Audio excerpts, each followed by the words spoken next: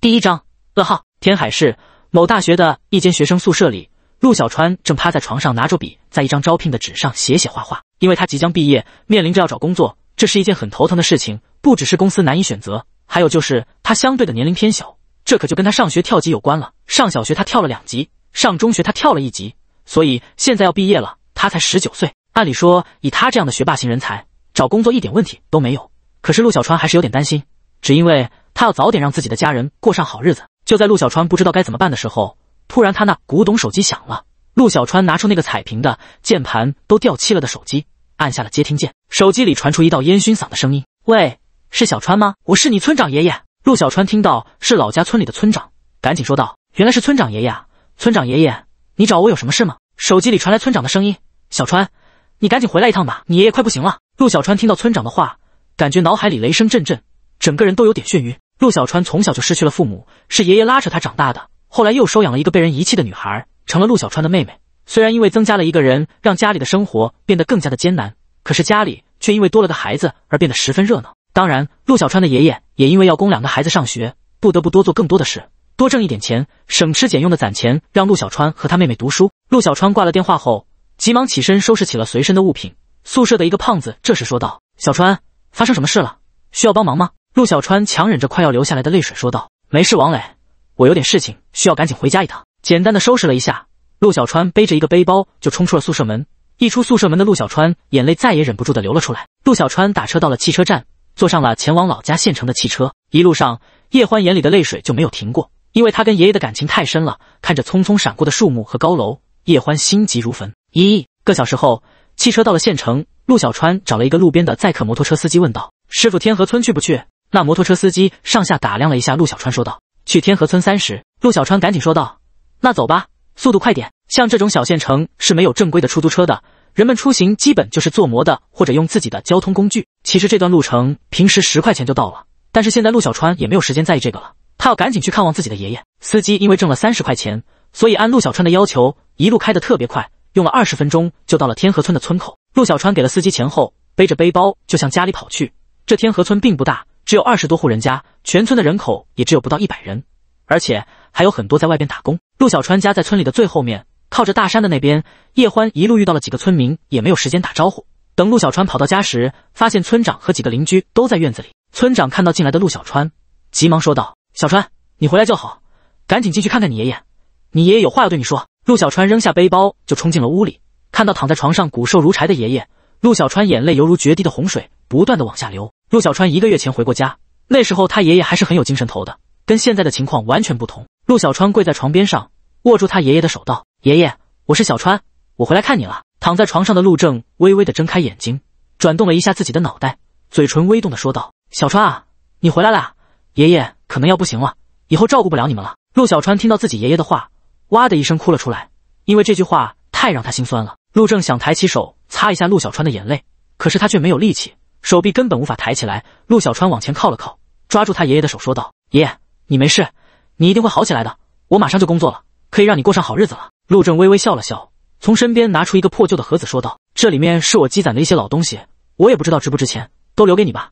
要是值钱，你就卖了它，可以改善你和你妹妹的生活。”要是不值钱，就当是留个念想吧。陆小川接过那个破旧的盒子，紧紧的抱在手里，对陆正说道：“爷爷，你放心，我一定好好保存这些东西。”这时，陆正又说道：“还有，我走了以后，你要照顾好你妹妹，不要让人欺负她。你们本来就不是亲兄妹，如果你妹妹要是愿意，你就你就娶了她，知道了没有？”陆小川接连的点头道：“你放心，爷爷，我一定照顾好妹妹。”可是陆小川话刚说完，陆正的手就从陆小川的手里滑落，彻底没有了呼吸。陆小川看到自己的爷爷闭上了眼睛，大声的叫着。爷爷，爷爷，你睁开眼睛看看我。这时，大哭的陆小川想到了外面的老医生，立马冲出屋子，抓住村里的老医生的胳膊说道：“张爷爷，你救救我爷爷，我爷爷没死呢，你救救他。”张医生说道：“小川，我知道你难过，可是人终究有这么一天的，节哀吧。”这时，村长也过来说道：“小川，节哀吧，还是赶紧商量一下你爷爷的葬礼吧，毕竟现在天很热，可不能拖着呀。”这时，陆小川也稍微缓过来一点了，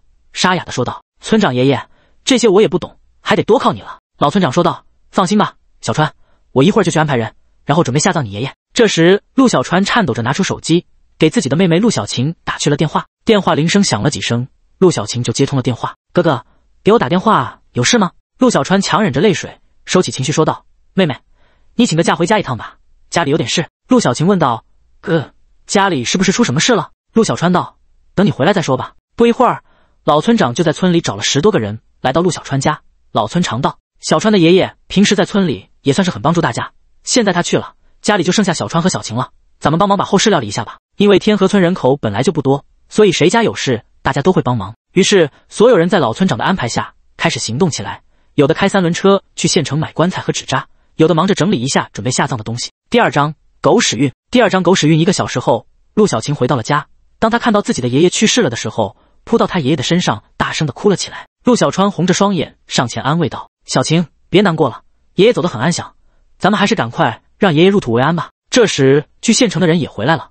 老村长对陆小川说道：“小川，你先把小晴带出去。”然后我们给你爷爷换身干净的衣服，一会儿就准备下葬吧。陆小川点了点头，让小晴先出去后，他跟老村长帮自己爷爷穿了一身干净的衣服。然后陆小川又忍着眼泪给他爷爷擦了擦脸。随后村里又来了一些人，男女都有，帮忙把小川爷爷的尸体放进了棺材。而陆小川和陆小晴此时也已经披麻戴孝。然后村里的一个老人开始吹着喇叭，人们抬着棺材开始出发，向着天河村的坟地走去。等把棺材下葬了之后，村长对一个年轻人说道：“陆大勇。”你看着点你小川哥和小晴妹妹，知道了没有？那个叫陆大勇的年轻小伙说道：“你放心吧，村长爷爷，我一定看好小川哥和小晴妹妹。”然后村长就带着大家走了。其实本不应该如此的简陋，起码得让这些人吃一顿饭啥的。可是这些年天河村的人口越来越少，都上城市里去了。再加上大家都知道陆小川的家庭条件很不好，所以大家也都帮忙完就走了。这时的陆小川和陆小晴两人在他们爷爷的坟前一点点的烧着纸钱，而陆小晴的眼泪就没有停过。这时边上的陆大勇上前小心翼翼的说道。小川哥，别难过了，先回去吧。小晴妹妹还要上学呢。这陆大勇是天河村跟陆小川玩的最好的，也是最佩服陆小川的。因为小时候陆大勇跟两个比他大的孩子打架，边上没有人上去帮忙，反而都大声呼喊着看热闹。当时只有陆小川拿着一根棍子，把那两个人给揍了一顿。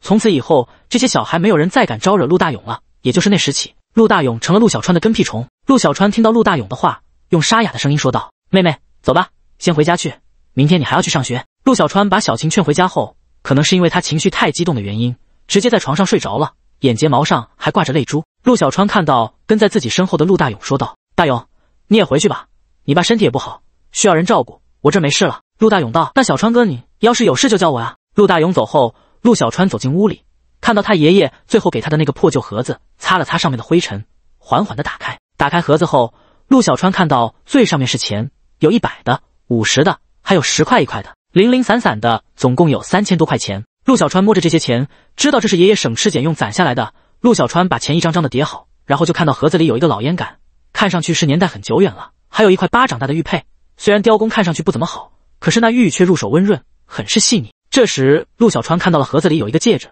这戒指陆小川知道是十多年前一个老道士来家里说是肚子饿了，要点吃的充饥。当时陆小川还小，陆正就给那道士做了一碗葱花面，还烙了一张大饼。吃完东西后。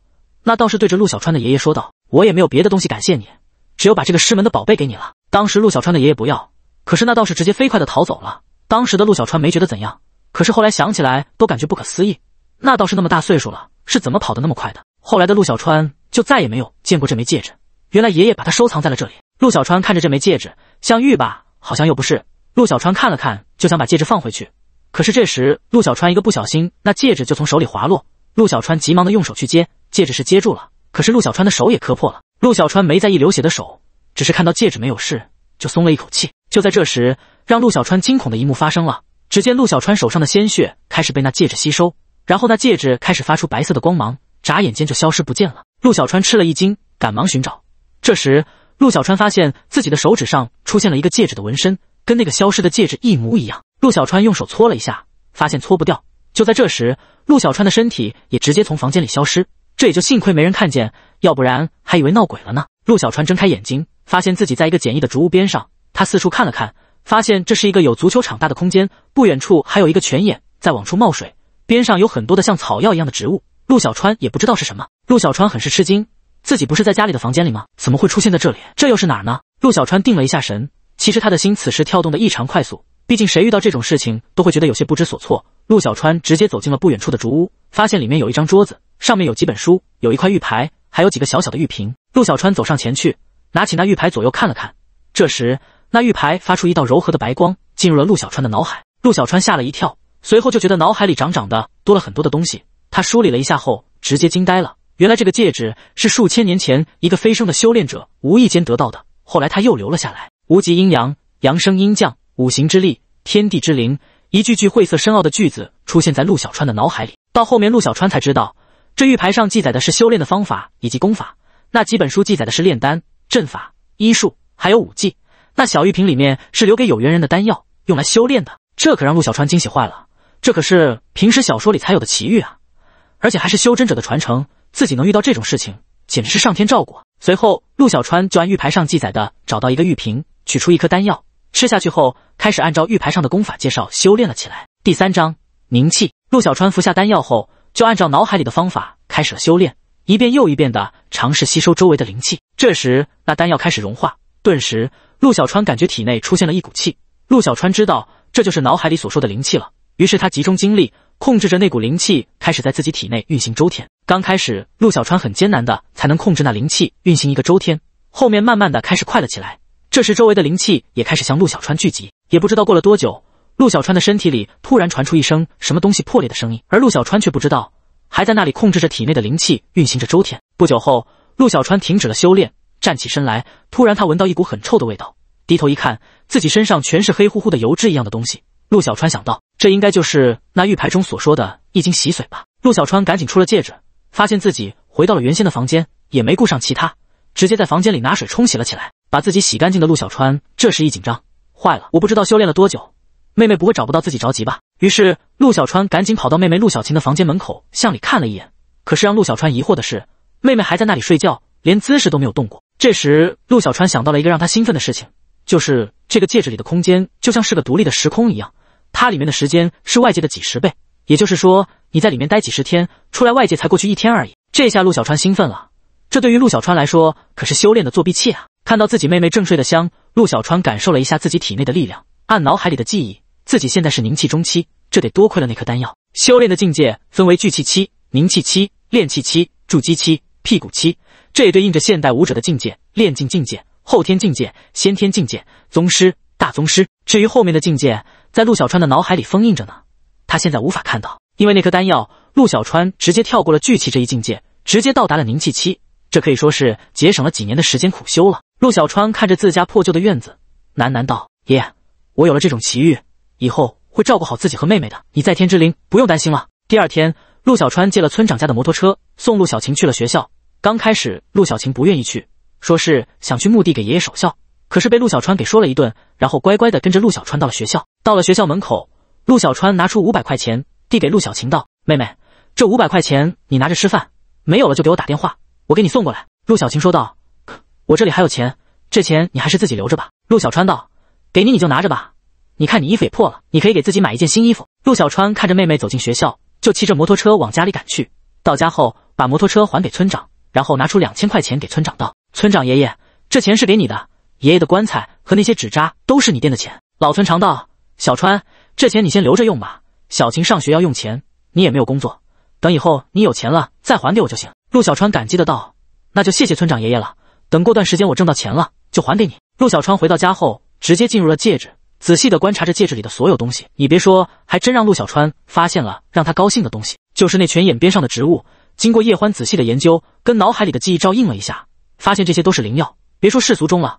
就是放到修炼界也是要抢破头的好东西啊！而且有一块地方有好几十颗人参，看样子很有年头了。随后，陆小川就在戒指里开始修炼，还抽时间研究那几本书，其中那武技很是吸引他，因为里面记录着修炼者使用的各种法门和技巧。除了这个，陆小川还研究了医术和阵法。就这样，陆小川在戒指里一待就是半年多的时间。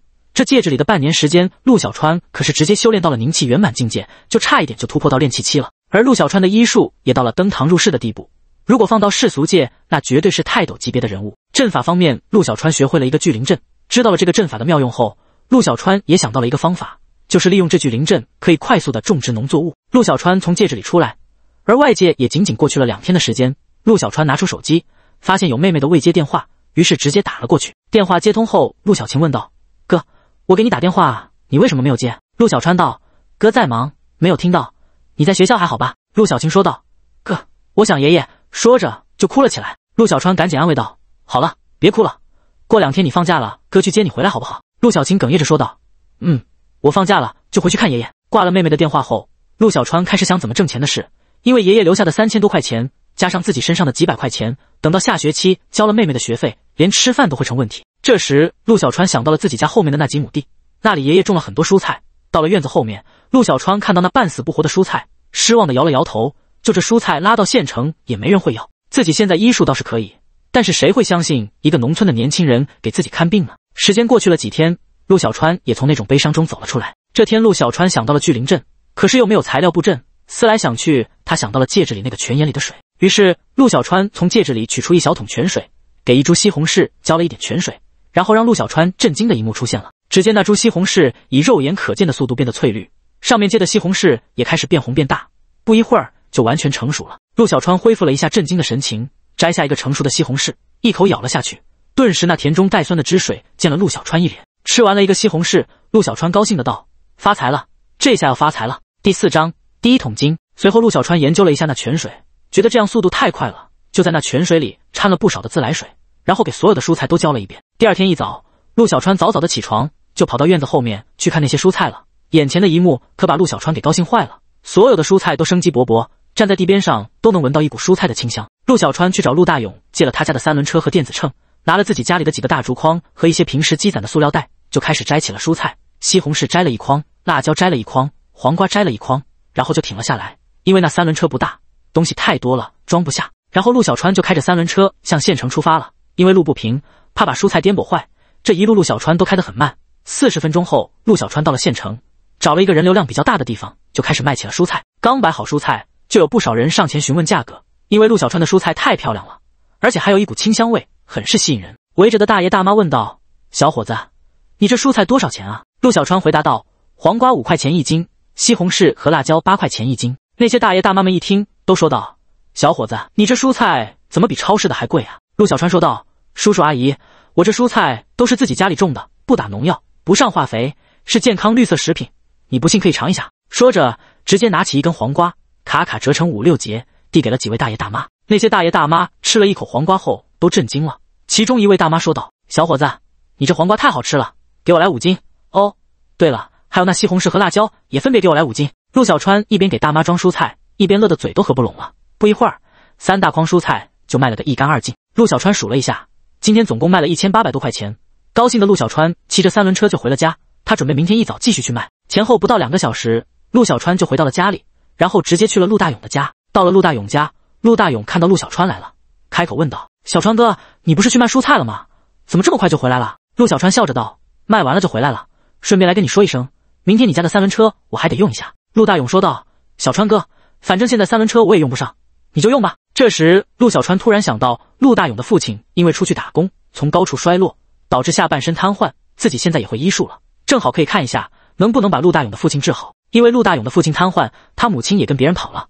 为了照顾自己的父亲，陆大勇上完高二就辍学了，一直照顾他父亲，家庭条件也就比陆小川家好那么一点。陆小川对陆大勇说道：“大勇，你父亲怎么样了？”陆大勇叹了口气道。还是那样，前段时间去县城又看了一下，医生说这根本就没有办法恢复。陆小川道：“我也会点医术，我可以给你父亲看看。”陆大勇疑惑的道：“小川哥，你啥时候会医术的？”陆小川打了个哈哈道：“我是上学的时候跟一个老中医学的。”陆大勇带着陆小川到了房间里，就看到大勇的父亲躺在床上，看到陆小川进来，连忙说道：“小川来了呀，大勇，赶快给你小川哥倒点水。”陆小川赶紧道：“叔叔，我不渴，我就是来看看你的病的。”我跟着一个老中医学了一段时间的医术，看能不能治好叔叔你的双腿。大勇的父亲眼里闪过一丝落寞，开口说道：“我都习惯了，既然小川你有这个心，那你就随便折腾吧。”陆小川抓着大勇父亲的手，装作号脉的样子。其实陆小川是用灵气进入大勇父亲的身体里查看病情。不一会儿，陆小川知道了大勇父亲双腿瘫痪的原因，原来是脊椎移位压迫住了双腿的经脉，导致双腿失去了行动能力。这时，陆大勇问道：“小川哥，怎么样？”我父亲的双腿能治好吗？其实陆小川知道了原因后就有把握治好的，可是为了不让他们父子太过激动，就说道：“等我明天去卖菜回来的时候，买一副银针给叔叔针灸试试。现在还不确定。”这时大勇的父亲说道：“小川，你就不要破费了，我的情况我自己知道，你就别浪费钱了。你现在还要照顾你妹妹呢，可不能乱花钱。”陆小川笑了笑，没有说话，跟大勇交代了几句话，就回到了家里。到家里的陆小川直接进入了戒指里，开始练习武技：闪动腾挪、时而拳法。时而掌法，看上去颇具威力。现在陆小川感觉自己一拳可以打死一头牛，这是实力暴涨之后的表现。然后陆小川就又开始研究医术，一直在戒指里待了很长时间才出了戒指。然后自己去院子后面摘了几个西红柿和黄瓜，就当做自己的一顿饭了。就在叶欢吃西红柿的时候，门外传来老村长的声音：“小川，在家吗？”陆小川赶紧起身到门口打开门，看到老村长正站在门口，开口说道：“村长爷爷找我是不是有事啊？”走上屋里说。到了屋里，老村长看到桌子上的西红柿和黄瓜，开口说道：“小川，你不会就吃这个吧？这那能行呢？年轻小伙子不吃饭哪有力气啊？”陆小川笑着说道：“我只是懒得做饭，就吃点这玩意儿。村长爷爷你也尝尝，这西红柿可好吃着呢。”老村长也没有在意，就接过陆小川递过来的西红柿咬了一口，然后就愣住了，随后几口就吃完了一个大西红柿。老村长擦了擦嘴说道：“小川，你这西红柿是哪里来的？为什么这么好吃？”陆小川笑着道：“村长爷爷，你忘了。”我爷爷在我家院子后面种了很多的蔬菜，这西红柿就是那地里摘的。老村长疑惑的道：“我家里也种了西红柿，为什么跟你家的差距这么大？”陆小川打了个哈哈道：“可能我这几天浇的水多吧。”第五章治病。老村长吃了陆小川的西红柿，感叹道：“真好吃啊！我听说你今天去卖菜了，是不是卖的就是这菜啊？”陆小川道：“是的，我打算把院子后面的那些菜都买了，攒点钱，然后来年扩大种植面积。”老村长却说道：“小川。”你爷爷辛苦把你送进了大学，就是想让你有出息。你怎么能回家种地呢？我看你还是去大城市找个工作，好好上班，总比在这个穷乡僻壤待着的强。陆小川说道：“以前我也想好好在大城市找个工作，挣点钱，让我爷爷享享清福。可是现在爷爷不在了，我也没有那个心了。再说了，即便是在这里种地，我也能种出名堂的。”老村长道：“哎，我还是觉得你去大城市发展比较好。我今天来是想问你，县城有个单位在招人，你愿不愿意去试试？”陆小川道：“谢谢村长爷爷。”我还是先不去了，等我真的混不下去了再去找工作吧。老村长叹了口气道：“也好，你爷爷刚走，你先缓一段时间吧，我先走了。”叶欢说道：“村长爷爷，你等等我。”说完就向院子后面的菜地跑去，不一会儿就提了一兜子的西红柿和黄瓜来到老村长跟前，把两兜子蔬菜递给了老村长。老村长说道：“小川，这些东西你还是留着卖钱吧。”陆小川道：“后面的菜地里还有很多呢，够我卖一阵的。这些你拿回去给我奶奶尝尝。”老村长只好说道：“那我就不客气了。”你别说，你家这西红柿是真好吃。第二天一大早，陆小川就起床开始摘蔬菜。到了菜地的时候，陆小川发现蔬菜的枝条上又结出了很多的新蔬菜，这可让陆小川高兴坏了。这样这些蔬菜就能买不少钱了。花了半个小时的时间，陆小川又摘了三大筐的蔬菜，骑着三轮车向县城开去。陆小川还是到了昨天卖蔬菜那个地方。就在陆小川刚摆好蔬菜，一大群大爷大妈就围了上来。其中一个大妈说道：“小伙子，你怎么才来啊？今天你拉西红柿了吗？你不知道？”昨天我买回去的西红柿还没有来得及做饭，就被我孙子和儿媳妇给吃没了。今天你给我多称点。陆小川道：“好，今天还是跟昨天一样，还是西红柿、黄瓜，还有辣椒。”短短不到半个小时的时间，三大筐蔬菜就卖了个一干二净，比昨天还快。卖完蔬菜的陆小川点了一下收入，比昨天多卖了二百多块钱，整整卖了两千多。陆小川收好钱，骑着三轮车向着不远处的一个中药店开去。到了中药店，里面的一个女店员上前说道：“你好，请问你是要买药吗？”陆小川说道。你好，请问你们这里有银针买吗？我想买一套银针。那女店员笑着说道：“不好意思，我们这里没有银针卖。”这时，不远处的一个白发老人走过来说道：“小伙子，你学过中医？”陆小川说道：“学过一段时间。”那老人眼睛一亮，开口说道：“现在肯学中医的年轻人可是不多了，正好我这里有一套多的银针，你要是不嫌弃，我就把它送给你吧。”陆小川道：“那怎么好意思？我还是给你钱吧。”那老人哈哈笑着说道：“不用了，反正我这里有好几套，就送你一套吧。”陆小川拿着银针。连连感谢老人，从中药店出来。陆小川骑着三轮车刚要走，突然他发现不远处一个老大爷拿着一个纸箱子，箱子里放着两只小土狗。叶欢眼睛一亮，走上前问道：“大爷，你这两只小狗是要卖吗？”那老大爷说道：“是的，一只一百块，你要是要的话，两只给一百五就拿走。”陆小川看着两只机灵的小狗说道：“好，这两只小狗我要了。”说完就从兜里掏出一百五十块钱给了老大爷，然后抱着纸箱子放到了三轮车后面，骑着三轮车往家里赶去。到家后，陆小川把两只小狗取下来，然后拿了一个馒头，泡了一碗水给小狗吃。可是让陆小川头疼的是，两只小狗闻了闻用水泡的馒头，居然不吃，这可让陆小川头疼了。突然，陆小川想到了戒指，能不能把两只小狗收到戒指里呢？想到就做，陆小川冲着两只小狗一挥手，小狗就不见了踪影。陆小川用精神力向戒指里一看，发现两只小狗正在戒指里撒欢，好像很喜欢那个环境。然后陆小川就把那一碗馒头拿着进了戒指，然后用泉水泡了一下。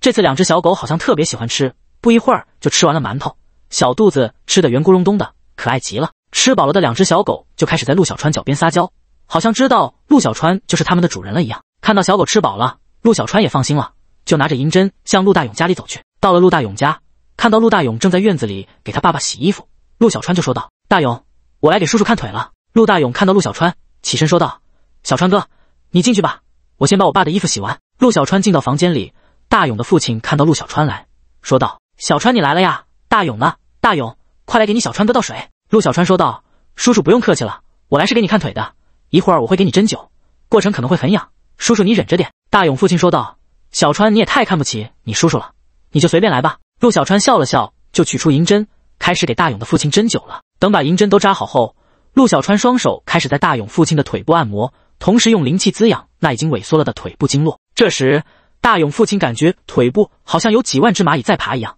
奇痒难耐，双手紧紧的抓着被子，咬牙坚持着。半个小时后，叶欢拔掉银针，问大勇父亲道：“叔叔，你感觉腿部有什么变化？”大勇父亲惊喜的道：“我感觉我的腿部有知觉了，我能感觉到，真的。”这时，陆大勇正好进来，他父亲高兴的说道：“大勇，我的腿有知觉了，我的腿有知觉了。”说完就流下了眼泪。刚进来的陆大勇听到自己父亲的话，惊讶的说道：“爸，你说的是真的吗？你的腿真的有知觉了？”陆大勇的父亲狠狠的点了点头。这时，陆小川说道：“叔叔，你的腿刚有知觉，你情绪还是别太激动了。”第六章有灵性的狗子听到陆小川的话，大勇也平静了一下自己的情绪，说道：“对，爸，你腿刚有知觉，不要太激动了。”这时，大勇的父亲按耐住自己的情绪问道：“小川，我这腿真的能够好吗？”陆小川笑着说道。应该没有问题，明天我再来给你治疗一下，差不多就可以了。后面就是你自己养了，要经常按摩腿部，因为你腿长时间没有活动，肌肉有点萎缩。一个礼拜之后，你就可以尝试下床活动了。听了陆小川的话，大勇和他父亲都高兴的不行。这些年，他们父子俩也忍受了太多，现在看见希望了，那种感觉一般人是体会不到的。这时，陆小川说道：“叔叔，大勇，那我就先回去了，明天我再过来给你治疗。现在你就好好休息吧。”大勇的父亲听到陆小川要走，急忙说道：“小川，这马上中午了。”你还是吃过饭再走吧，大勇，去做点好吃的，让你小川哥在家里吃饭。陆小川拦住大勇说道：“我不吃了，我家里还有点事。大勇，你有闲时间就给你爸的腿按摩一下，这样好的快一点。”陆小川从大勇家出来，急忙往家里跑，因为他发现那两只小狗正在戒指里四处奔跑，把不少灵药都给踩倒了，这可让陆小川着了急。到了家里，陆小川立刻把两只小狗从戒指里放了出来，然后进戒指里把那些倒了的灵药重新扶起来，好在都没有断。要不然，陆小川的损失可就大了。陆小川从戒指里出来，两只小狗就扑到他脚下打滚，而且陆小川发现两只小狗都长大了一点，这跟戒指里的时间流速有关。为了不让小狗再糟蹋灵药，陆小川弄了一大堆的木棍，进到戒指里，用木棍把那灵药给围了起来，做了个篱笆，这一下就不怕了。然后陆小川吃了一点东西，就在三轮车上加了一块长长的板子，因为他觉得每天拉的蔬菜有点少，而且茄子都没有采摘过，这次经过这么一改，就可以多拉不少的蔬菜，也可以卖更多的钱。弄完这些东西，陆小川就带着两只小狗进到了戒指里，然后用泉水给两只小狗泡了馒头。两只小狗好像特别喜欢吃用泉水泡过的东西。等小狗吃完了，叶欢就对着两只小狗说道：“过来坐下。”陆小川就是试试，可是没想到的是，两只小狗真的跑过来坐到了他面前，小尾巴还一个劲的摇着，这可让陆小川很是激动。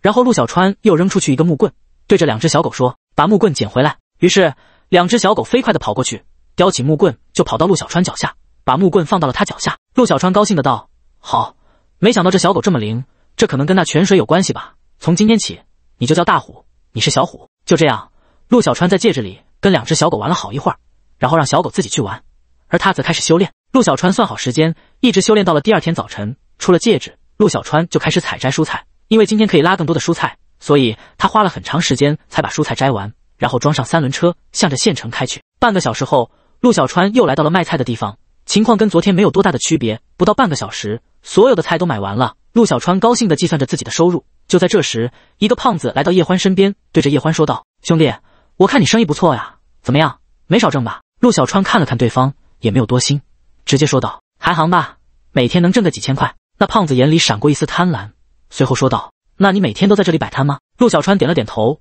收拾好东西就骑着三轮车离开了。那胖子看着离开的陆小川。不知道在思索什么，陆小川骑着三轮车，很快就到了家里。放好三轮车后，陆小川就带着银针向陆大勇家里走去。出了门，走了三十多米，陆小川就到了大勇家里。大勇看到陆小川来了，高兴的说道：“小川哥，你来了呀！今天你给我爸治疗完，就在我家里吃饭，我都快要准备好了，顺便咱俩喝点酒。”陆小川道：“大勇，你真不用跟我客气，现在我们两家的条件都不好，等我们改善一下条件后，再好好聚一下也不晚呢。大勇说道：“小川哥，你是大学生，现在回来种地了，虽然不光彩，可是作为从小一起长大的哥们，我也得给你接个风。”陆小川无奈的道：“好吧，说不过你，一会儿也可以让伯父喝点，也可以活活血。”说完就进屋给伯父开始治疗了起来。半个时辰后，陆小川收了银针，对伯父说道：“来，伯父，我把你扶到轮椅上，一会儿一起吃饭。大勇都做好饭了。”陆大勇的父亲也一脸微笑的说道：“好，今天我也喝两口，都好几年没喝过酒了。”现在自己的腿部有了知觉，他也很高兴。陆大勇因为这些年照顾自己的父亲，做菜的手艺还是不错的。一个鸡炒的很是入味，还有一盘花生米，还有一盘青菜，就简单的三个菜，但是量挺大。陆大勇给他父亲倒了一杯酒后，就给陆小川和自己倒上酒。陆大勇举起酒杯，对陆小川说道：“小川哥，谢谢你，要不是你，我爸的腿也不可能好。这杯酒敬你。”说完一口就把酒给干了。边上的大勇父亲赶紧给儿子加了点菜。陆小川看见大勇把酒干了，也只好一口喝了下去。可是陆小川以前也就喝过一点啤酒，白酒从来没有沾过，这一下把自己呛了一下，接连咳嗽了好几声，脸都红了。边上的大勇父亲急忙道：“小川，你没事吧？不会喝就慢一点。”陆小川运起体内的灵气，一圈以后感觉自己舒服了，就张口说道：“谢谢伯父，我没事，就是不小心呛到了。”大勇父亲道：“那就好，来，赶紧吃菜。大勇这孩子做菜还是很好吃的。”第七章收保护费。陆小川在陆大勇家里一直喝到了中午一点多，直接把大勇喝的已经有点大舌头了。这时，陆小川还是一点事没有。大勇父亲看得神奇，张口问道：“小川，你酒量怎么会这么大的？”陆小川笑了笑道：“伯父，我也不知道，可能是天生的吧。”这时，边上的大勇说道：“来，小川哥，我我们接着接着喝。”陆小川看到大勇这样，知道他还要照顾他父亲，就从戒指里取出一点泉水，偷偷的放进杯子里，然后让大勇喝了。果然，大勇喝了以后，一会儿就清醒了过来，这让边上的大勇父亲有点不知所措。明明已经喝多了。这怎么突然又没事了呢？于是就抱着酒瓶子一个劲的在那研究，嘴里还喃喃道：“难道这酒是假的？不能啊！”陆小川也没有去管，而是提醒让大勇给他父亲多按摩腿部，然后就回家了。回到家，陆小川就进戒指里跟大虎和二虎玩了一会儿，然后喂了他们一下，就开始修炼起来了。等修炼到九九八十一个大周天的时候，陆小川就又开始学习武技。陆小川看过那几本书，上面不只有各种武技，而且还有一些类似于法术的东西。可是那要求最低也要练气期才能尝试修炼。所以陆小川就没有动，在戒指里修炼了一段时间。陆小川出了戒指，算了一下时间，觉得明天卖完菜应该去接妹妹了，因为他们该放假了。出了戒指的陆小川带着大虎和二虎走到了院子后面的菜地边上。大虎和二虎在菜地里跑来跑去。陆小川对着两只狗说了一句：“不许破坏菜地里的东西，上一边玩去。”大虎和二虎像是听懂了陆小川的话一样，从菜地里出来，乖乖的坐在陆小川的脚下。陆小川看了一下菜地里剩下的蔬菜，估算了一下，应该还能采摘三次。因为本来种植的就不算多，还是因为那泉水才让蔬菜的产量变得这么大的。这时，陆小川想到了，等这些蔬菜卖完了，自己可以承包村里的土地。自己家边上就有几十亩的土地，因为村里年轻人少，很多的土地都很少打理，估计村民们也会很愿意承包给自己的。第二天一大早，陆小川照常采摘了四筐蔬菜，骑着三轮车向着县城赶去。半个小时后，陆小川到了原先的地点，因为这里的人都知道他的蔬菜非常好吃，要是换一个新的地方，那价格估计人们又会抗拒。所以还是这里比较好卖一点。陆小川把四个大筐搬下来，摆好之后，那些不上班的大爷大妈不一会儿就围了上来，开始买蔬菜了。这时，昨天跟陆小川说话的那个胖子，领着两个一看就不是什么好人的男子，向着陆小川的方向走来。三人来到陆小川身边，那胖子看了看买菜的大爷大妈，也没有说话，而是一直看着陆小川手里的钱慢慢变多，眼里也露出了一丝贪婪。半个小时过去。陆小川的菜买的也差不多了，就剩了一点西红柿。可能是今天采摘的西红柿多的原因，剩下了差不多有十斤左右。陆小川也不打算卖了，今天也买了差不多四千块。现在他想去学校接上妹妹陆小晴，然后回家。可是还没等陆小川把筐拿上车，胖子三人突然上前对陆小川说道：“哥们，你在这里摆摊有没有交过摊位费啊？”陆小川停下手里的活，抬头看着胖子三人说道：“我不知道什么摊位费，我只知道这里是公共的地方，我在这里摆摊没有对任何人造成影响。”胖子笑着道：“别说我没通知你。”在这一片地盘上，不管你是干什么，都要向我们交钱，要不然今天你走不了。陆小川愤怒地看着胖子道：“我今天就要走，我看你能不能拦住我。”话音落下，陆小川就把筐搬到了三轮车上，准备离开。胖子三人看到陆小川真的敢走，招呼一声，三人就瞬间向着陆小川扑来。陆小川害怕三人把三轮车砸坏，因为这是陆大勇家的，就向前一冲，抬腿三脚就放倒了胖子三人。整个过程速度奇快，因为现在陆小川是凝气圆满，相当于后天圆满的武者境界。对付三个普通人就跟玩一样。胖子三人忍着身上的剧痛爬起来，在路边拿了一根一米多长的木棍，向着陆小川的脑袋砸了过来。陆小川闪身避开，一拳打到了胖子的下颚，然后几下子踢倒了剩下的两人。三人好一会儿才爬起来，对着陆小川说道：“好小子，没想到是个练家子，今天的事没完。”说着话，三人跌跌撞撞的向着远处跑去。这也是陆小川没有敢用力，要是陆小川用了内劲，估计三人最轻也是骨折的下场。看着三人跑得不见了踪影，陆小川有种想大笑的冲动，因为这是陆小川修炼后的第一次出手，这让陆小川有种无敌的感觉。陆小川骑着三轮车，高兴地向着妹妹的学校赶去。这时，陆小晴的电话也正好打了过来：“喂，哥，你啥时候来接我啊？我们放假了。”陆小川道：“我马上就到你们学校门口了，你在学校门口等我吧。”十多分钟后，陆小川骑着三轮车到了学校门口，他远远的就看到陆小晴在学校门口东张西望。陆小川在妹妹身前停下三轮车，对着妹妹说道。上车吧，小晴，我们去买点肉，晚上给你做好吃的。陆小晴上了三轮车后，笑着对陆小川道：“哥，这是大勇哥家的三轮车吧？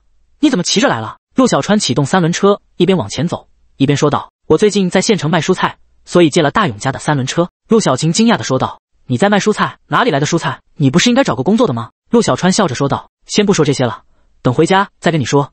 一会儿记得提醒我买瓶酒。”陆小川带着陆小琴买了一些肉，买了一瓶酒。然后就骑着三轮车向家里赶去。第八章指责。到了家里之后，陆小川做了他爷爷生前最爱吃的青椒炒肉，然后拿着买的那瓶酒，跟妹妹陆小琴一起向着爷爷的坟墓走去。到了坟墓之后，陆小川把青椒炒肉摆好，倒出白酒洒在了他爷爷的坟墓前，而边上的陆小晴早已哭成了泪人，而且不停的说一些小时候的事情，内容颇为伤感。陆小川也没有去管，因为哭出来之后，对于陆小晴来讲更好一些。过了片刻，陆小川对着坟墓说道：“爷爷，我现在。”开始卖你种的那些蔬菜了，已经挣了一点钱，我相信以后会越来越好的。你放心，我会让妹妹安心的读完大学的。两人在陆正的坟前待了差不多一个小时，对着陆正的坟墓说了很多的话。随后，陆小川就带着眼睛红肿的陆小晴回了家。到家后，陆小川让妹妹去洗脸，而他则是开始做饭。今天陆小川就买了一些肉，蔬菜都没有买，因为自家有。半个小时后，陆小晴来到厨房，陆小川看着已经不那么伤心的陆小晴说道：“饭菜马上就好了，你先出去吧。”陆小晴并没有听自己哥哥的话。而是在边上打起了下手。片刻后，饭菜就好了。两人端着饭菜到了屋里。陆小晴这时开口说道：“哥，爷爷生前省吃俭用供我们读书，就是想将来我们能有出息。可是你现在大学毕业了，不想着去找工作，怎么能在家种地呢？”陆小川叹了一口气道：“以前我也想在大城市找个工作，等出人头地了，就把爷爷接到城里享享清福。可是现在爷爷不在了，我也没有那份心了。因为现在我就想把爷爷留下的这些地给照看好。”本来陆小川是想告诉自己妹妹关于戒指的事情。可是后来，陆小川想了一下，还是忍住了。因为匹夫无罪，怀璧其罪的道理，陆小川很明白。在自己没有足够的实力之前，这件事陆小川只能烂在肚子里。因为陆小川现在不知道这个世界上谁有多深了，在他没有强大起来之前，一切都要小心翼翼。陆小晴听了陆小川的话，眼睛红红的说道：“哥，我知道你因为爷爷的事很伤心，可是爷爷生前的希望是让你到大城市去啊。”陆小川道：“我知道妹妹，可是现在即便是大城市。”每个月顶天也就四五千块钱的工资，而且实习期就更少了。现在我卖蔬菜才几天的时间，已经卖了一万多块钱了。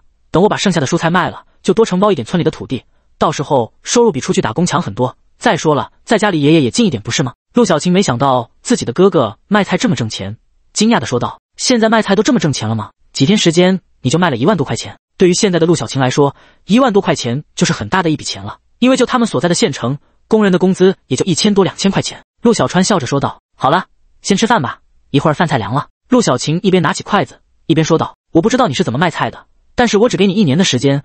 如果一年内你有任何的不顺或者亏损，你就去大城市找工作。”陆小川无奈的说道：“好，我的好妹妹，哥知道了，赶快吃饭吧。”随即两人开始吃起了饭。桌子上摆着四个菜：一个红烧肉，一个青椒炒肉，一个凉拌黄瓜，一个糖拌西红柿。虽然四个菜很简单，可是陆小小就像个小孩子一样，因为在家里吃饭跟外面是截然不同的心情。尤其是那西红柿和黄瓜，陆小晴边吃边问道：“哥，这是我们家的菜吗？为什么这么好吃啊？”陆小川笑着道：“可能是我最近照顾的好，每天除草，还给他们浇水，所以好吃吧。”半个小时后，两人吃完了饭，而陆小晴直接躺在椅子上，摸着自己的肚子说道：“哎呦，不行了，哥，我吃的太饱了，碗啥的只能你收拾了。”陆小川一头黑线，非常无奈的说道：“你也不怕吃胖了，到时候嫁不出去了，我看你怎么办？”陆小晴瞪了一眼陆小川，说道：“我嫁不出去，还有哥哥你啊，我不怕。”陆小川听到陆小晴的话，正在收拾碗筷的手突然顿了一下。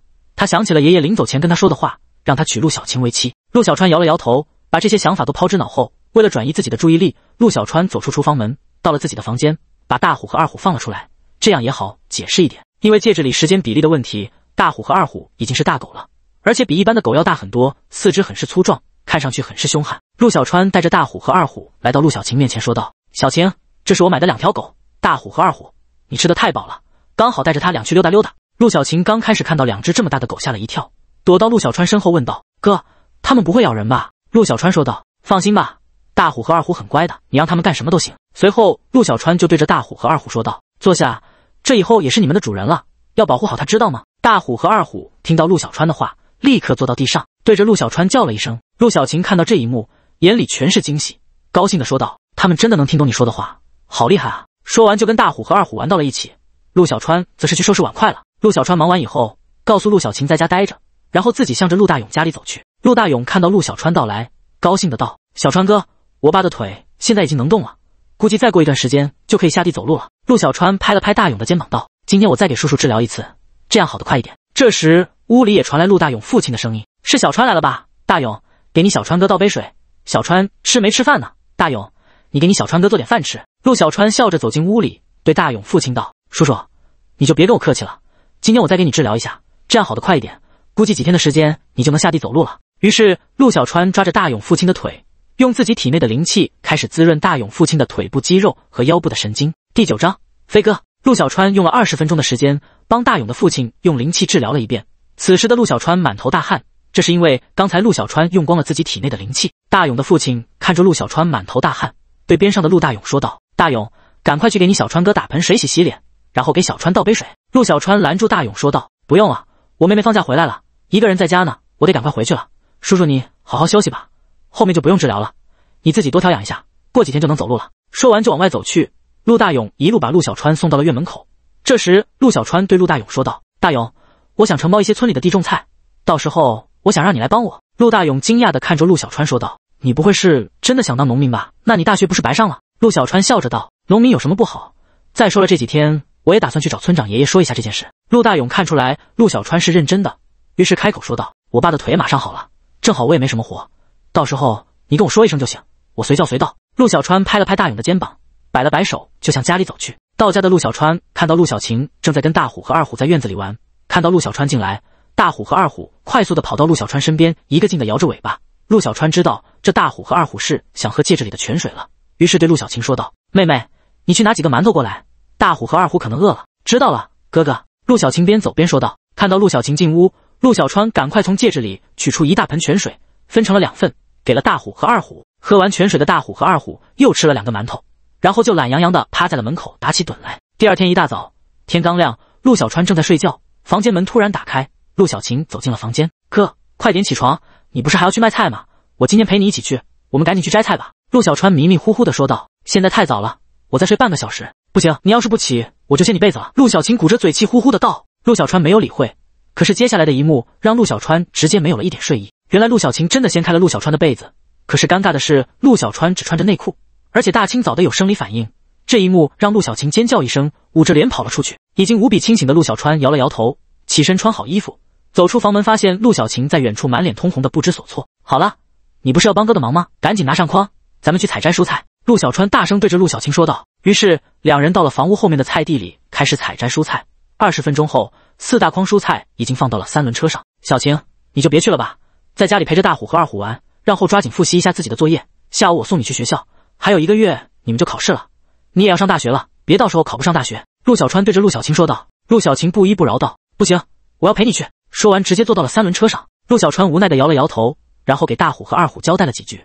开着三轮车就向县城出发了。半个小时后，陆小川就到了他平时卖菜的地方，把四筐蔬菜都搬下三轮车，就等着顾客上门了。不一会儿，一些大爷大妈就陆续的来到了摊位前，开始挑拣起了自己要买的蔬菜。陆小川忙着给大家称菜，然后陆小晴就负责收钱。不一会儿，蔬菜就下去了一多半。收钱的陆小晴笑的眼睛都成了月牙儿。这时，一位大肚中年男子来到摊位前，看着陆小川的蔬菜说道：“你这蔬菜看着挺新鲜的，是自己家种的吗？”陆小川笑着道。都是自己家种的，而且没有打过农药，也没上化肥，纯绿色食品。你吃一个就知道了。说着，从筐里拿出一个西红柿。那大肚的中年男子也没有在意，拿着西红柿用手擦了擦，就咬了一口。瞬间，那中年男子睁大眼睛，几口就把一个大西红柿吃进了肚子里，舔了舔嘴唇。中年男子道：“你这些蔬菜我都要了，全部给我留着，我这就安排人过来拉。”陆小川道：“我这蔬菜可是比菜市场的要贵。”中年男子无所谓的摆了摆手道：“没事，我全要了。”而就在这时，从远处走过来十多个人，里面就有昨天找陆小川收摊位费的那三个人。陆小川把陆小晴护在身后。这时，边上的那中年男子也发觉了不对劲，对陆小川道：“他们是来找你麻烦的吧？需不需要帮忙？我可以叫人来。”陆小川笑着说道：“多谢，不需要了。这些人我还是可以解决的。”这时，那十多个人已经走到了陆小川的摊位前，陆小川也直接迎了上去。这时，那昨天的胖子开口说道：“飞哥，就是这个小子，不交摊位费还打了我们。”那个被叫做飞哥的男子一米八的身高，看上去孔武有力，嘴上叼着烟说道：“昨天就是你打了我的人是吗？”陆小川点了点头道：“没错，是他们要收我什么摊位费，所以我打了他们。怎么样？”飞哥笑了笑道：“还怎么样？今天你有两条路走，一条是赔偿我兄弟两万块钱，一条就是我打断你一条腿，你自己选吧。”这时，后面的陆小晴跑过来，抱住陆小川的胳膊道：“你们这是敲诈，我要报警抓你们。”那飞哥上下看了看陆小晴，坏笑着说道：“还有个美人在这儿，怎么？”心疼了，行，你答应陪我一晚上这事，就算两清，怎么样？陆小晴气得满脸通红，刚要说什么，这时陆小川对着陆小晴道：“你先到后边去。”说着，把陆小晴推到了三轮车旁边。然后陆小川走到那飞哥面前道：“如果你今天只是找我麻烦，我还能忍着。可是你刚才对我妹妹不敬，那就不要怪我了。”第十章，亮瞎你的眼。刚说完话的陆小川一脚直接把那个飞哥给踹出去了五米多远。一幕不止震惊了剩下的十多个混混，而且把边上的陆小晴和那个中年男子也给惊到了。要知道，那个叫飞哥的人起码也有一百八十斤的体重吧？就这么一脚就给踹出去了五米远的距离，实在是太过震撼。而那飞出去的飞哥想爬起来，可是失败了。于是他咬着牙对手下的人说道：“给我，给我废了他！”于是十多个混混就向着陆小川冲了过来，有的还从兜里掏出了匕首。陆小川一个闪身冲进了人群里，用他在戒指里学的那些武学，不到半分钟，十多个混混就躺在地上呻吟，一时爬不起来。陆小川走到那个叫飞哥的面前，蹲下对着飞哥说道。你叫飞哥是吧？今天我告诉你，我就是想卖我的菜，你们不来惹我，我也不会惹你们。如果你想跟我玩，我奉陪到底。说完后，陆小川走到妹妹身边，摸了摸陆小晴的头，道：“没有吓到你吧？”陆小晴摇了摇头，兴奋的看着陆小川说道：“哥哥，你什么时候变得这么厉害了？”陆小川看着一点也不害怕的陆小晴，一头的黑线。好了，这些等回去再说吧。这时，那十多个混混爬起来，到了那飞哥跟前，把他扶了起来。那个胖子对飞哥说道：“飞哥，这事不能这么算了。”下次我们召集齐人手砍了这小子。那个叫飞哥的听了胖子的话，一巴掌打到了胖子的后脑勺上，张口骂道：“你个小瘪犊子，今天的事就是因为你而起的，你还想报仇？你看不出来这小子是个练家子吗？从他刚才的出手上看，估计昊天武馆的馆主都不一定是他的对手。”边上的混混听了，脸上都露出震惊的表情，因为这个昊天武馆的馆主曾经因为跟黑社会闹出矛盾，独自一人挑战了黑帮的三十多个成员后全身而退。自从那次后，没有那个势力敢找昊天武馆的麻烦。这个卖菜的小子比昊天武馆的馆主还厉害，那还了得！这时，那胖子嘴里骂骂咧咧的道：“靠，有这么好的本事干啥不好？居然来卖菜，真是脑子进水了！”只听得啪一声，胖子的后脑勺又挨了一巴掌。那个叫飞哥的对胖子道：“还在这儿过嘴瘾呢，赶快送老子去医院啊！我感觉我肋骨好像断了。”这时，那大肚子的中年男子快速的走到陆小川身边说道：“兄弟，真看不出来你还有这本事呢，肯定是学过武吧？”这身手都能自己开武馆了，陆小川笑着道：“我这就是跟别人学了两年，上不了台面。哦，对了，这蔬菜你还要吗？”那中年男子道：“要啊，必须要，一会儿就有人过来拉。对了，兄弟，你这蔬菜产量怎么样？要不然你直接给我的酒店供应蔬菜得了。”陆小川听了后眼睛一亮，高兴的说道：“现在蔬菜剩的不多了，你要是要可以全部给你，后期我的产量会变大，到时候就可以大量供货了。”中年男子高兴的掏出一张名片，递给陆小川道：“这是我的名片，等你蔬菜下来后。”直接给我打电话就行了。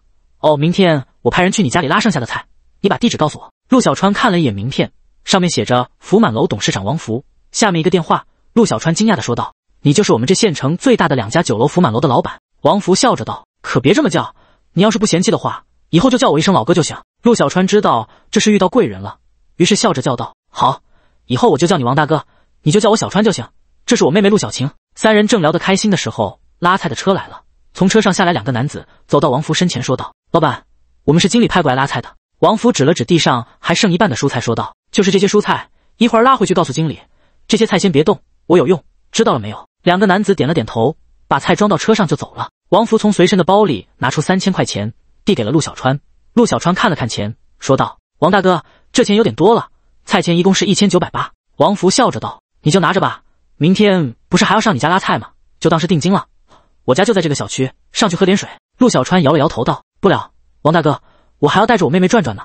等有时间我们再聊。王福看着骑着三轮车离开的陆小川，嘴里喃喃道：“陆小川还真是个奇人，从刚才的身手来看，绝对不是个简单的人啊。”坐在三轮车上的陆小晴高兴地对着陆小川说道：“哥，你猜今天我收了多少钱？大概有两千六七百块钱吧。”陆小川毫不犹豫地说道。陆小晴惊讶的道：“你怎么知道的？你是不是偷偷看我数钱了？”陆小川抬抬头道：“我现在可是卖菜的老板，卖出去多少菜，我心里是有数的。”旁边的陆小晴翻了个白眼，然后高兴的喃喃自语道：“两千六百八十块，加上你的三千块，就是五千六百八十块。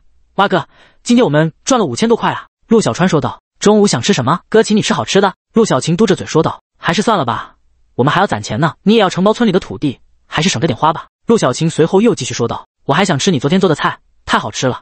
咱们买点东西回家去吃吧。”陆小川点了点头说道：“也行，今天我们带点肉排骨啥的回家做，顺便叫大勇和他父亲来家里吃饭。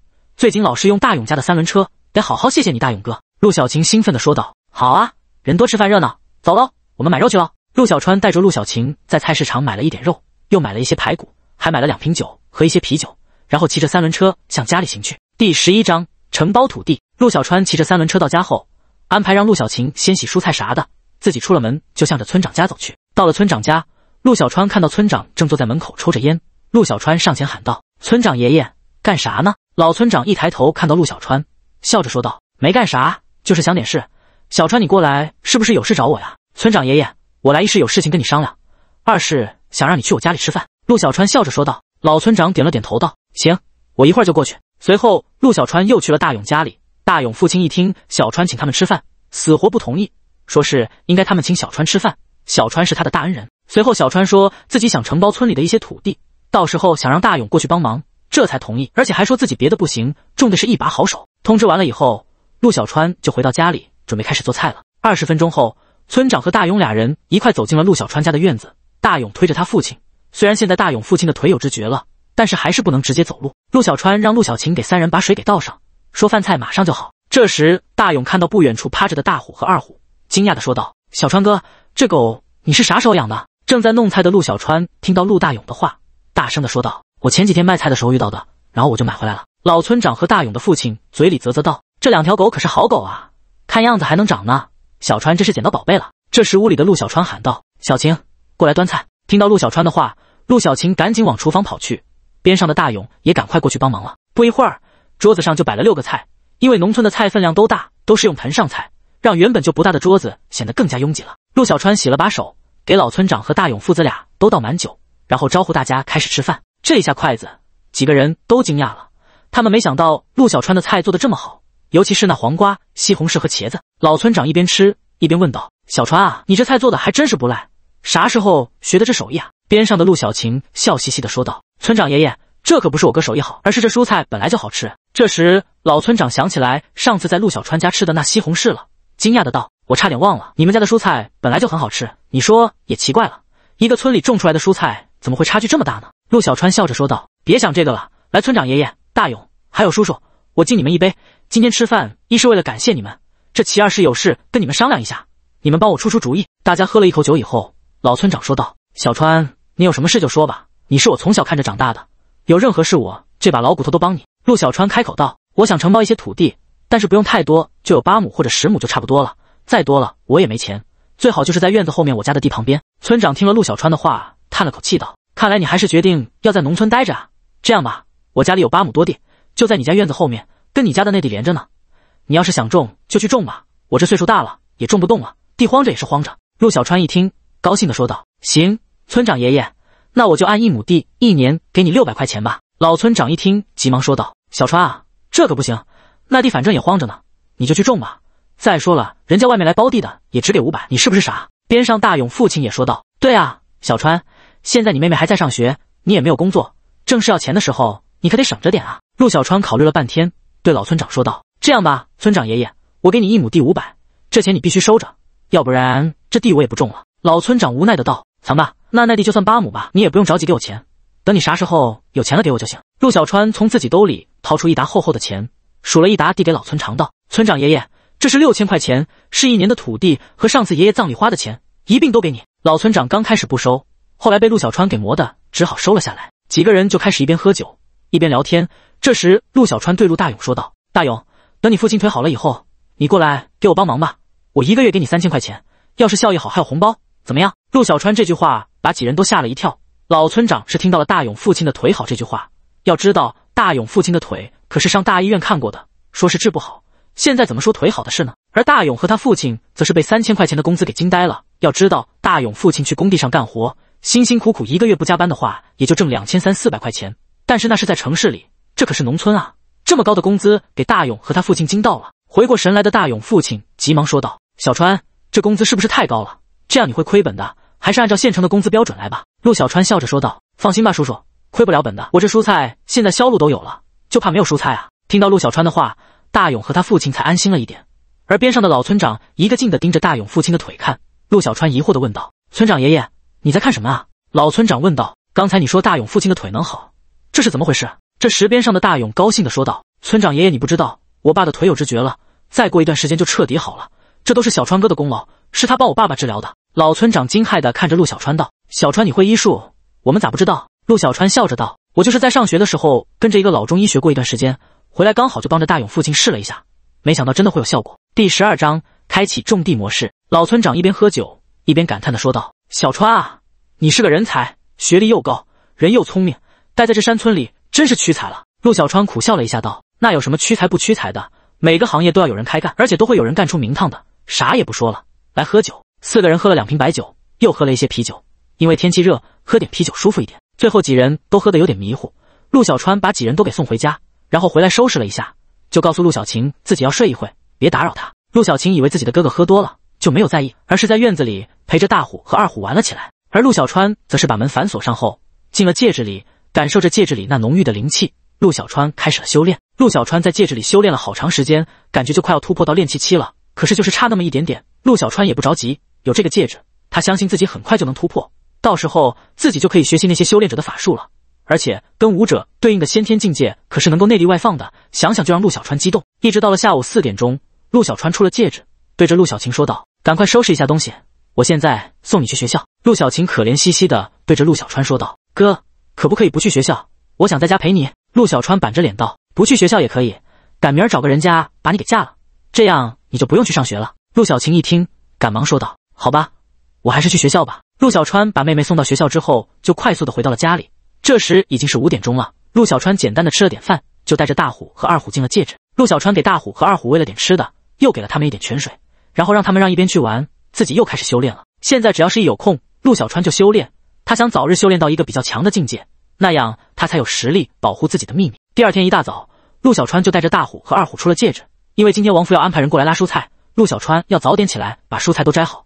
到时候人一来，直接就装车了，方便省事。陆小川用了四十多分钟，把整个菜地里的所有蔬菜都采摘了下来。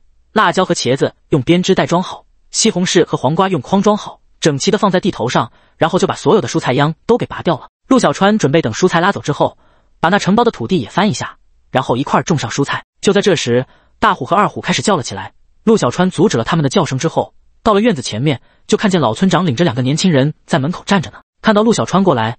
老村长说道：“小川，这两个人说是来找你的，我把他们领过来了。”陆小川说道：“谢谢村长爷爷。”这时，那两人微笑着说道：“您就是陆小川陆先生吧？我们是王总派过来拉蔬菜的。”陆小川道：“你们不用这么客气，我就是一个小农民。走吧，把你们的那车开着，蔬菜我都采摘好了，直接过一下称就能装车了。”于是，两人开着一辆小货车，绕过陆小川家的院子，一直到了后面的菜地边。陆小川拿着称，开始一一把蔬菜都称了一遍。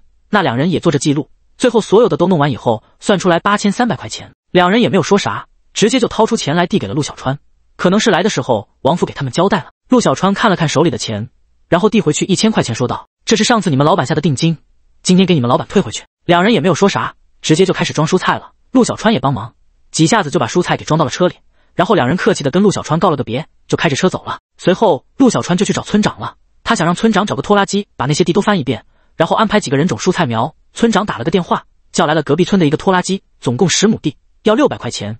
这还是看在老村长的面子上，要少了一点。要知道这地翻下来油钱都不少的。一切都安排好以后，只等了半个小时，拖拉机就来到了天河村。陆小川带着到了自己的地里面，告诉了对方怎么弄，拖拉机就开始在土地里四处奔跑了起来。差不多十亩地用了整整一天的时间，下午五点多才算完事。陆小川把钱给对方，然后又把提前准备好的两包烟塞给了对方。对方高兴的跟陆小川说了几句，就开着拖拉机回家去了。地也弄好了，老村长把人也找好了，只要明天把蔬菜苗买过来，就可以栽种了。第二天一大早，陆小川就骑着三轮车向县城出发了。半个小时后，陆小川到了县城，找了好几家蔬菜育苗的店，都说是现在已经有点过季节了，即便是种上，赶在天冷之前也收不了多少东西，所以秧苗都没有了。这下陆小川有点着急了，要是没有蔬菜秧苗，那地可就只能荒着了。就在这时，一个卖秧苗的老板对陆小川说道：“你去县城北边的二号路，哪里有一家店，是一年四季都有秧苗，因为他家都是大棚里育的苗。”陆小川听到对方的话，高兴的连说了好几声谢谢，然后骑着三轮车向着北边的二号路行去。到了地点之后，陆小川进了门店，里面一个中年男子穿着一个白色的背心，看到陆小川进来，赶紧招呼道：“你好，你是要秧苗的吧？我这里什么秧苗都有，你可以随便看看。”陆小川微笑着说道：“我有十亩左右的地，想买一些蔬菜秧苗。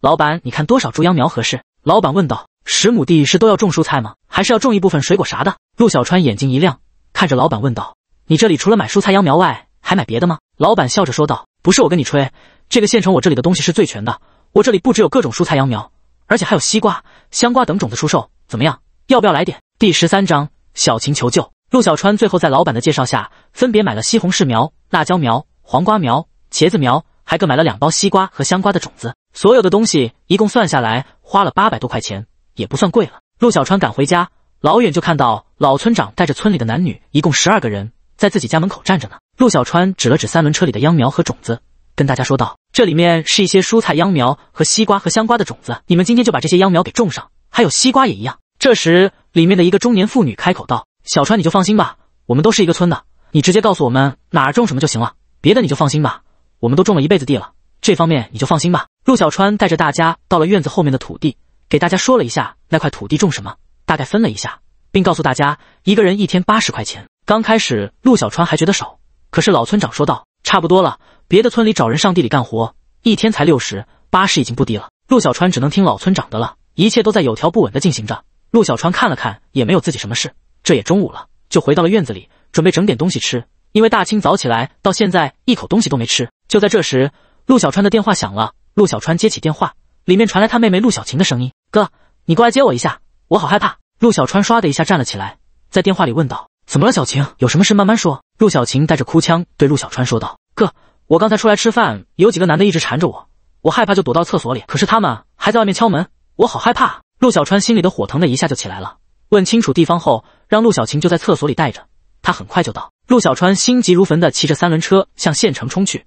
这次陆小川只用了十九分钟就到达了县城，一路上就跟飞似的。到了地方以后，陆小川就冲进了一个不大的饭店。进去后看了一圈，发现在饭店的最里面，三个染着黄头发的青年正在使劲的敲打着饭店厕所的门。陆小川知道就是这里，几步走上前去，推开三个黄毛，对着门说道：“小晴，你在里面吗？哥哥来了，不用害怕了。”这时，厕所的门打了开来，陆小晴从里面走了出来，看到陆小川，直接扑到了陆小川怀里，哭了起来。这时，其中一个黄毛上前两步说道：“我说哥们，啥事都有个先来后到吧？怎么你想办到截胡啊？”陆小川眼里寒光一闪，一个大嘴巴就把那说话的黄毛给扇到了地上。这一下让对方的牙掉了两颗，嘴角全是血。黄毛看着自己掉的两颗牙，对身边的两个人说道：“给我干死他！”边上的两人立刻向着陆小川冲了过来。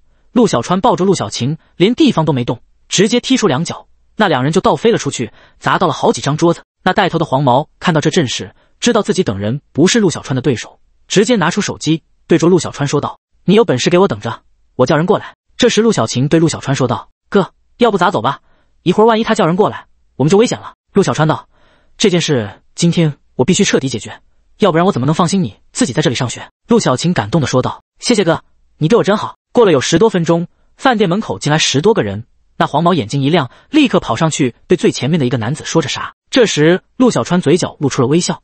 因为他看到了熟人，没错，这进来的十多个人正是上次找陆小川麻烦的那个叫飞哥的人。这时，那个叫飞哥的也看到了陆小川，几步走到陆小川身边，说道：“大哥，你怎么在这里？黄毛惹的人不会就是你吧？”陆小川看了看飞哥，冷声的说道：“你说呢？看来上次我就不应该留手，直接让你住院才对。”飞哥听见陆小川的话，吓得一个哆嗦，连忙说道：“您放心，我立刻处理这件事。”话音落下，飞哥转身就走到三个黄毛跟前，冷声说道：“给我打！”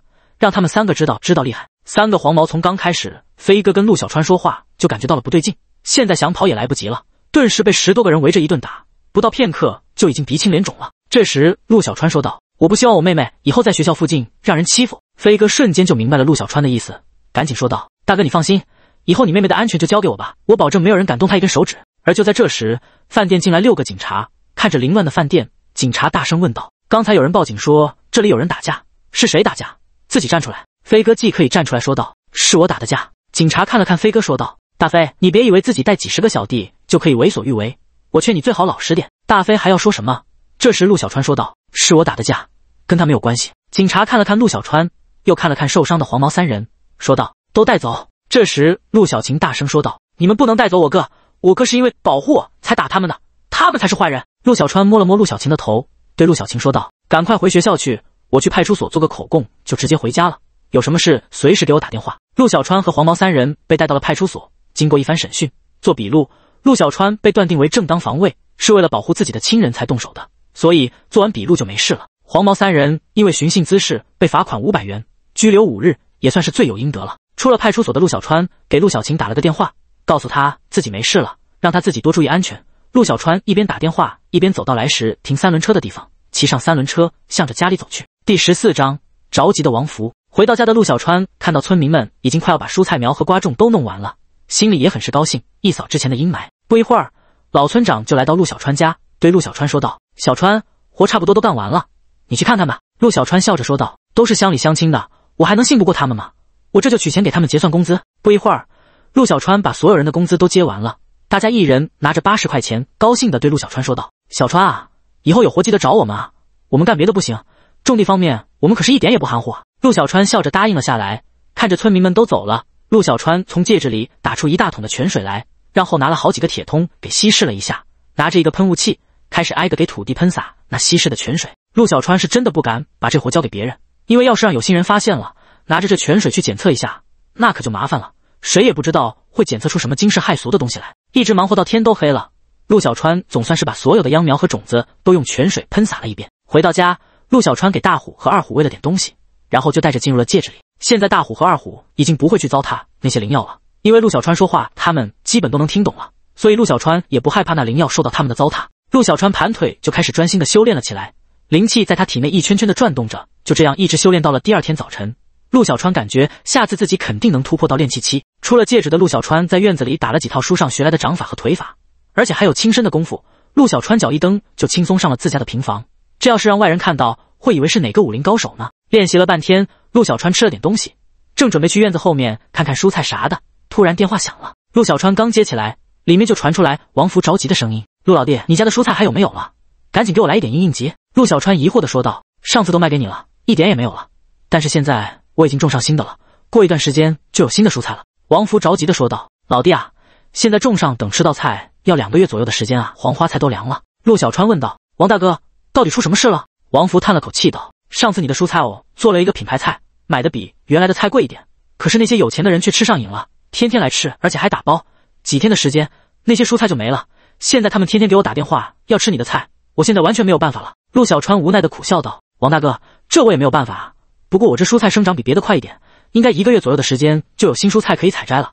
到时候我打电话给你，你直接派人过来就行了。”王福无奈的道：“只有这样了，陆老弟，你有时间可以来福满楼坐坐，让老哥我好好招待招待你。”陆小川笑着道：“谢谢王大哥了，等有时间我一定去。”挂了电话后，陆小川来到院子后面的菜地边。让陆小川高兴的是，那些蔬菜苗全部都长势良好，没有死亡的迹象，而且西瓜和香瓜已经有嫩芽冒出了土壤。陆小川高兴之余，心里想到：这泉水绝对是好宝贝，有如此的效果，那我以后的生活绝对会越来越好。陆小川在菜地周围巡视了一圈，大虎和二虎也跟着陆小川屁股后面，看着两只聪明的狗。陆小川说道：“以后。”你们每天都要来巡视这边的菜地，但是不能破坏地里的东西，知道吗？陆小川一边说，还一边用手比划着。大虎和二虎好像是明白了陆小川的意思，瞬间就围着菜地周围跑了起来。片刻后转了一圈，回到陆小川身边，摇着尾巴，好像是在炫耀他们的功劳一样。陆小川摸了摸大虎和二虎分脑袋，给他们喂了一些泉水，就向家里走去。这时，陆小川的电话又响了。陆小川疑惑的接起了电话，里面传来了一道声音：“小川，你家里的事情忙完了吗？啥时候回来？我找到工作了，而且……”我跟我们领导说了，只要你过来，肯定有你的位置。陆小川心里暖暖的。打电话的是当初陆小川回来时问陆小川的那个胖子，也是陆小川大学时候的舍友。大学四年，陆小川只有跟这个胖子能玩到一起，而且两人的关系也很好。陆小川对着电话说道：“谢谢你，王磊，我不打算去城市工作了。现在我在家里种地，以后我就是一个农民了。你有时间可以到我家里来玩，我们这里风景还是很漂亮的。”电话里的王磊瞬间声音提高了八度，大声的说道：“什么种地？你小子是不是发烧了？四年大学上出来，你居然去种地？你是不是疯了？”陆小川笑着说道：“种地没啥不好的，现在我种地的收入也是不低的。你要是知道，肯定会眼红的。”王磊无奈的道：“看来你是真的打算种地了，还真不知道该怎么说你。行吧，等我有时间就去你家里找你，记得给我杀只羊，还要杀几只鸡，好酒好菜都给我整上，要不然我可饶不了你。”陆小川笑着道：“放心吧，肯定不会让你饿瘦的。”挂了电话以后，陆小川感觉自己彻底的放了下来。现在陆小川才真正的感觉到自己的心灵一阵轻松，抛开一切杂念，陆小川进了戒指，盘腿开始修炼了起来。不一会儿，陆小川周围就聚集了一大团的白色的像雾一样的东西。这要是让武者看见，指定能被吓死，因为那全是灵气。这也就是陆小川修炼的是修真的功法。要是武者的话，根本就不可能会聚集这么多的灵气。而此时的陆小川感觉自己体内的灵气开始四处游走，而且逐渐向着一些没有打通的经脉冲了过去。第十五章炼气期。陆小川感觉自己体内的灵气开始四处游走，这是要冲破关口、突破修为的征兆啊！于是陆小川赶紧收敛心神，控制着灵气开始冲击自己的天地二桥。时间一分一秒的过去，天地二桥迟迟无法突破。这时陆小川有点着急了，因为冲击天地二桥时，那种经脉的疼痛是让人无法忍受的。这时的陆小川咬了咬牙，强忍着疼痛，然后控制着体内的灵气，缓缓的游走在经脉里，然后突然猛烈的向着天地二桥冲去。陆小川只觉得自己的脑袋里轰的一声，人整个躺在了地上，然后整个人被一种疼痛所包围，脑海里也剧痛无比。可是慢慢的，陆小川感觉自己的这些疼痛开始消失，取而代之的是一种舒爽的感觉。陆小川起身，盘腿坐好，感受了一下，感觉自己的灵台异常清明，而且自己身体周围三十米内的一切东西都不用去看，全部都清晰的出现在了陆小川的脑海里。而且陆小川感觉自己体内的灵气从一条小水渠变成了一条大河流。这种感觉无比的舒服，陆小川站起身，适应了一下实力暴涨的身体，然后脚底一动，身形就出现在了十多米开外，速度快到普通人都看不清楚。然后陆小川手掌一翻，一掌打向了不远处的土地，顿时土地上出现了一个几十公分深的手掌印。陆小川冷冷的看着那个大手掌印，片刻后哈哈大笑道：“我也是一代大侠了，我也有绝世武功了。”片刻恢复了一下激动的心情之后，陆小川开始仔细的研究这次突破给自己带来的好处。如果是武修者。突破到先天境界的标志就是可以内力外放，隔空伤人，摘叶飞花就可以伤人，甚至是杀人。但是修真者不只是体内更高级的灵气可以外放，而且有了神识，现在陆小川可以清晰的感知到周围三十米以内的任何动静。而且更重要的是，陆小川现在可以学习那些书里面记载的术法了。于是陆小川开始仔细翻看那本记载有很多术法的书。可是翻看到第二页，陆小川就看不下去了，因为后面的内容陆小川一看就头晕眼花。陆小川觉得自己这是修为不够。后面的内容无法学习，于是就在前两页上看了起来。第一页记载的是符箓的制作，当然只是初级的符箓。第二页是初级掌心雷。仔细的观看了半天，陆小川开始学习掌心雷，因为现在学符箓没有用，因为他没有相应的东西。就这样，陆小川练习掌心雷，一直练到了下午，天快黑了。这在戒指里的时间来说，已经过去了一个多月了。而陆小川也彻底的掌握了初级掌心雷的使用。出了戒指，陆小川想实验一下自己的掌心雷，看看威力有多大，可是又不能在自己家院子里。于是陆小川脚底一动，身体腾空，向着不远处的大山飞去。到了大山里，陆小川找了一个没有树木、全是石头的地方，因为他害怕引发火灾，在全是石头的地方安全一些。一切都准备好之后，陆小川催动体内的灵气，手掌向着前方的一块电视机大的石头发出了一掌。只听咔嚓一声，雷光一闪，远处的那块石头被一道淡紫色的闪电劈中，那块石头顿时变成了碎石块。陆小川看着自己的手掌，无比的兴奋，因为那本书上介绍说，这掌心雷是鬼物的克星。虽然陆小川没有见过鬼，可是自从发现这个戒指的秘密以后，陆小川就知道这个世界上肯定是有鬼的，只是很少见到而已。这下陆小川有了掌心雷，而且威力如此巨大，也让陆小川有了很大的底气。陆小川正在高兴之余，突然听到远处的树林里有打斗的声音，这让陆小川很是惊讶，因为这天河村周围的大山一般都是人迹罕至，没有人会来这里，怎么会有打斗的声音呢？于是陆小川脚下一动，向着声音发出的地方疾驰而去，片刻间就掠出了百十米的距离。到了地方后，陆小川落到了一棵大树上，向着树林里看去，只看见三个黑衣人正在和一个二十七八岁的男子在打斗。那个二十七八岁的男子是一个武修，是后天中期境界。那三个黑衣人有一个后天中期，两个后天初期。这时，那个二十七八岁的男子一边打一边说道：“今天不把东西留下，你们是无法离开这里的。我劝你们还是乖乖把东西交出来。”那三个黑衣人里的一个出声道：“你爹不识抬举地干活，死啦死啦地！”在树上的陆小川眉头一皱，心里很是诧异，这怎么是忍者？忍者到这里来干什么？这个中年男子又是干什么的？就在这时，那个中年男子又说道：“我们龙族的支援马上就来了，你们今天走不了了。”树上的陆小川听到那中年男子的话，吓了一跳。龙族，这不是小说中存在的组织吗？怎么现实中真的有？这时，那中年男子在三个忍者的围攻之下，手臂被一刀砍中，顿时血流如注，一只手瞬间失去了战斗力，眼看着就要被忍者给解决了。这时，树上的陆小川摘了三片树叶，上面附上灵气，一下掷了过去。三个忍者正准备杀害那个中年男子，可是这时飞出来三片树叶，瞬间就把三个忍者的腿部击了个对穿。三个忍者顿时丢掉手中的刀，直接扑倒在地上，抱着自己血流如注的大腿，不停的哀嚎。而这时，陆小川感觉到有两道气息向这边赶了过来，赶紧隐藏好自己的身形。果然，不到几个呼吸的时间，两个三十多岁的男子出现在了那个中年男子身边。其中一个看了看倒在地上哀嚎的三个忍者，张口就说道：“行啊，一个人可以把他们三人给解决了，厉害了你。”而另一个男子则是上去在忍者身上点了几下，三个人就一动不动了。这时，陆小川看到那中年男子没有危险了，害怕暴露，于是身形一闪，竟悄悄地离开了此处，没有发出一丝声音。而那个后面赶过来的两个男子，此时大声叫道：“你说什么？这三个忍者不是你打伤的，那是谁干的？”那中年男子说道：“我也不知道。当时我快要被这三人杀害的时候，他们三人就突然扑倒在了地上，我也不知道什么情况。但是看他们流血的腿部，肯定是有人出手相救。”第十六章平静的生活。第十六章平静的生活。听到中年男子的话，后面赶来的两个人上前仔细的查看三个忍者的伤口，他们两人是越看越心惊。这时，其中一个男子大声喊道：“你们过来看！”两人听到声音，赶忙上前查看，发现是一片普通的树叶。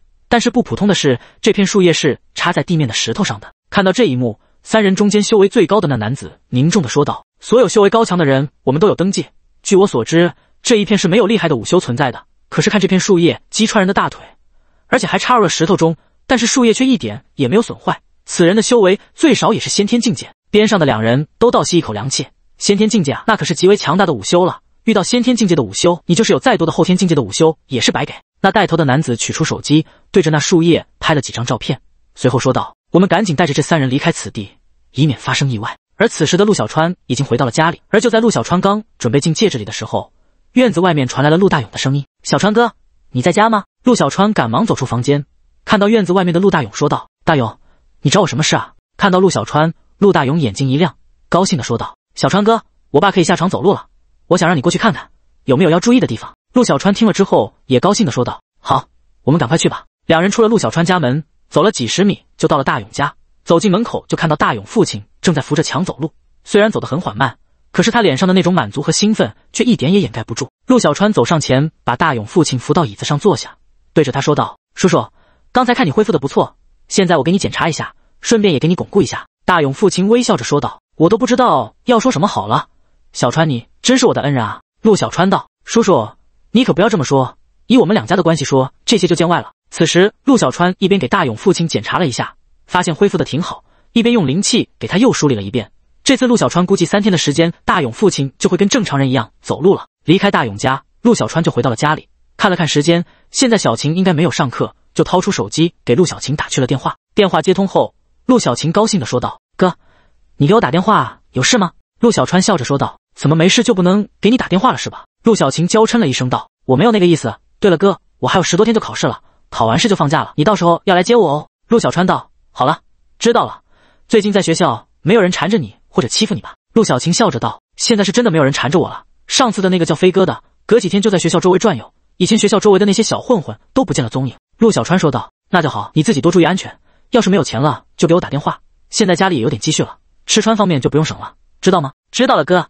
以后你挣钱，我花钱。哈哈哈。而此时，某处的一处秘密基地，那个被陆小川所救的男子和另外两个男子，把三个忍者交给了下面的人手，就一起向着一个办公室走去。到了门前，敲门后，里面传出来一道威严的声音：“进来。”三人进去后，里面的摆设非常简单，一张桌子前面坐着一个五十多岁的男子。看到三人一块进来，张口问道：“有什么重要的事吗？”三人里面那个带头的男子说道：“组长，今天在执行任务的时候，我们发现了一个高手，但是没有见到人。”那个五十多岁的男子惊讶地问道：“哦，在哪里？修为有多高？”于是三人就把所有的事情从头到尾说了一遍，并且把照片也让对方看了一下。那个五十多岁的队长看了半天，突然开口说道：“此人绝对是一个高手，是可以跟总部的那几个人相比较的。你们秘密的去周边调查，记住不要太过明显，此人既然不愿意让人看见，肯定是一个隐士高人，能让他加入龙组最好，不能也别强求人家。时间就这样过去了十多天，陆小川每天除了修炼，就是去院子后面的菜地里看蔬菜秧苗的长势。这十多天的时间，陆小川中间还给所有的秧苗都浇了稀释后的泉水，所以蔬菜秧苗已经开始结小小的蔬菜了，西瓜也开始开花结果了。陆小川估算，这蔬菜最多再有十天左右的时间，就有第一批可以采摘了。只要第一批蔬菜开始采摘，后面就会源源不断的有新的蔬菜成熟，这样就会形成一个循环。陆小川从菜地回来，大虎和二虎也跟在后面。现在大虎和二虎已经长得有点过大了，跟老虎一样。现在陆小川也不敢再让他们喝泉水了，因为害怕长得太大了。到时候被有心人给发现什么？就在这时，陆小川的手机响了。陆小川接起来，发现是妹妹陆小晴打来的。小晴，是不是要放假了？陆小川对着电话说道。陆小晴兴奋地说道：“对啊，哥，明天早晨你记得来接我。”陆小川笑着道：“好，明天一大早我就去接你。”挂了电话的陆小川向着陆大勇家里走去。陆大勇看到陆小川，高兴地说道：“小川哥，快进来坐，我给你泡茶喝。”陆小川摆了摆手道：“不用了，我来是想借一下三轮车，明天小晴放假了，我去接她。”陆大勇这时说道：“明天我跟你一块去吧，好久没有去县城了，去转一圈也好。”这时，陆大勇的父亲回来了。这十多天的时间，大勇父亲早已经可以和正常人一样走路了。看到陆小川，大勇父亲高兴地说道：“是小川啊，看到你真高兴啊。下午有没有事？没事的话，我做几个菜，喝点酒。”第十七章暴露。这时，陆小川这时突然想起来一件事，对着大勇父亲说道：“叔，你这么一说，我还真想起来一件事，就是我想修一个大棚。你看我那些蔬菜。”再过十多天就可以采摘了，等采摘的一个多月也就差不多了。到时候天开始凉了，没有大棚的话，一个冬天就浪费了。大勇父亲听了陆小川的话，说道：“你这个想法好，但是要修一个大棚的不少钱呢。还有就是得把时间算好了，等天冷下来的时候就得能够使用上。”陆小川算了一下，现在自己手里的钱不够，等十多天蔬菜可以采摘了就有钱了。然后估算了一下时间，陆小川对大勇父亲说道：“叔，我决定二十天后修建大棚，这方面你比较懂，到时候你帮我盯着点。”我每天给你一百二十块钱。大勇父亲连忙说道：“小川，这可不行，要不是你，我现在还在床上躺着呢。现在帮你盯着修建大棚的事情，怎么能要你的钱呢？哦，对了，你修建大棚的地选好了没有？”陆小川道：“一会儿去村长家里找村长说一下，找一块大点的地。”大勇父亲立刻说道：“不用去找村长了，我家在你那地的不远处就有一大片土地，足够修建大棚的。你看哪里行不行？”陆小川眼睛一亮，说道：“行啊，只要地方足够大就行。这样吧。”那土地还是按我租村里的价格给你钱，一亩地一年五百块钱，叔你看怎么样？刚开始大勇父亲说啥也不同意，后来陆小川说不同意就不在那里修大棚了，大勇父亲这才妥协。第二天，陆小川一大早就来到陆大勇家里，看到大勇已经准备好了，两人就骑着三轮车向着县城的方向行去。半个小时后，到了县城后，陆大勇下了车，说是先让陆小川去接他妹妹，他在这里给自己父亲买点东西。陆小川跟大勇分别后，就来到陆小晴学校的门口，不一会儿。就看见陆小晴拖着一个箱子出了校门口，陆小川赶紧迎上去，把箱子接过来放到车上。等陆小晴上了三轮车后，陆小川就骑着三轮车往前走去。两人来到县城的一条最繁华的街道，停下三轮车，等着陆大勇的到来。这时，陆小川看到旁边的彩票店，眼睛一亮，带着陆小晴就走了进去。到了彩票店后，里面只有两三个人正在那研究彩票。陆小川上前就跟老板说道：“你们这里的刮刮卡是可以自己挑吗？”老板点了点头，拿出一个纸箱子，里面全是刮刮卡。各种类型的都有。陆小川放出自己的神识，开始扫描那些刮刮卡。不一会的时间，陆小川就发现这些刮刮卡里面是没有大奖的，但是几千的倒是有好多张。于是陆小川挑出了几张有奖的刮刮卡。陆小川一一把它们都挑了出来，然后又挑了几张没有奖的，这样是为了掩人耳目。老板拿着陆小川挑出来的刮刮卡，算了一下，总共一百六十块钱。边上的陆小晴着急的对陆小川说道：“哥，这些东西都是骗人的，你不要花这个钱了，还是把钱留着吧。”陆小川笑着说道：“没事。”就当是娱乐了。付了钱后，陆小川就到一边坐了下来，递给陆小晴五张刮刮卡，然后自己拿着几张开始刮了起来。片刻后，只听得陆小晴一声尖叫，把整个彩票店里的人都吓了一跳。陆小川故意问道：“怎么了，小晴？”陆小晴兴奋地说道：“我中奖了，哥，我中奖了，三千块钱啊！”彩票店的老板和几个买彩票的人都一脸羡慕地看着陆小晴，因为这钱来的也太容易了。可是片刻后，陆小晴和陆小川接连爆出中奖，直接让彩票店里的人由惊讶到骇然再到麻木。因为陆小川和陆小晴就这一会儿的时间，总共中了一万八千块钱。两人兑完奖，高兴的出了彩票店，向着三轮车走去。而此时彩票店里那三个买彩票的人直接疯了，一人买了好几十张刮刮卡，可是除了中个几十块钱，剩下啥也没有，真是让三人欲哭无泪啊！过了有十多分钟，陆大勇提着一个袋子走了回来。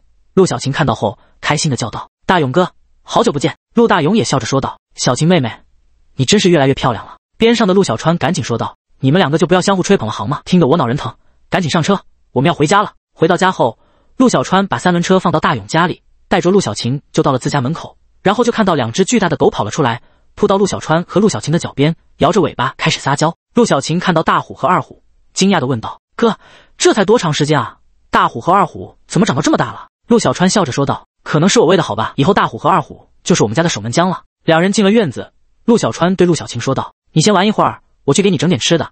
早晨没吃，现在肯定饿了。”就在陆小川去厨房做饭的时候，院子门口出现了一个男子。大虎和二虎开始对着那个男子大声的叫了起来，而且分成两边，对男子形成了夹击的状态。厨房里的陆小川早就发现了这个男子，但是陆小川没有出来，因为这个男子他见过，就是前几天陆小川在倭寇手里救下的那个男子。因为陆小川知道这个人很有可能是来找自己的，所以还是不要见的好，以免露出破绽。这时，陆小晴阻止要向前扑的大虎和二虎，对那个男子说道：“你是谁？来我们家有什么事吗？”那男子很是惊讶的看了大虎和二虎一眼，然后客气的对着陆小晴说道：“你好，我是从外面来这里游玩的，也顺便向你打听一件事。”陆小晴说道：“哦，你问吧。”男子说道：“你们这里有没有什么厉害的人，比如说会武功、比较能打的人存在？”陆小晴张口就说道：“我哥就会武功啊，而且很厉害，十多个人都不是我哥的对手。”说完还一脸骄傲的扬了扬脑袋，好像是他自己很厉害一样。第十八章游说。那男子听了陆小晴的话，眼睛一亮，对陆小晴说道：“哦。”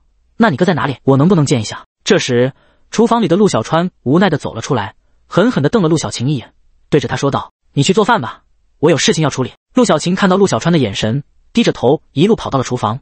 陆小川又摆了摆手，大虎和二虎也到了厨房门口，静静的趴着。陆小川直接忽视了那个男子明亮的眼睛，对其说道：“你是来这里旅游的？那你可是来对地方了。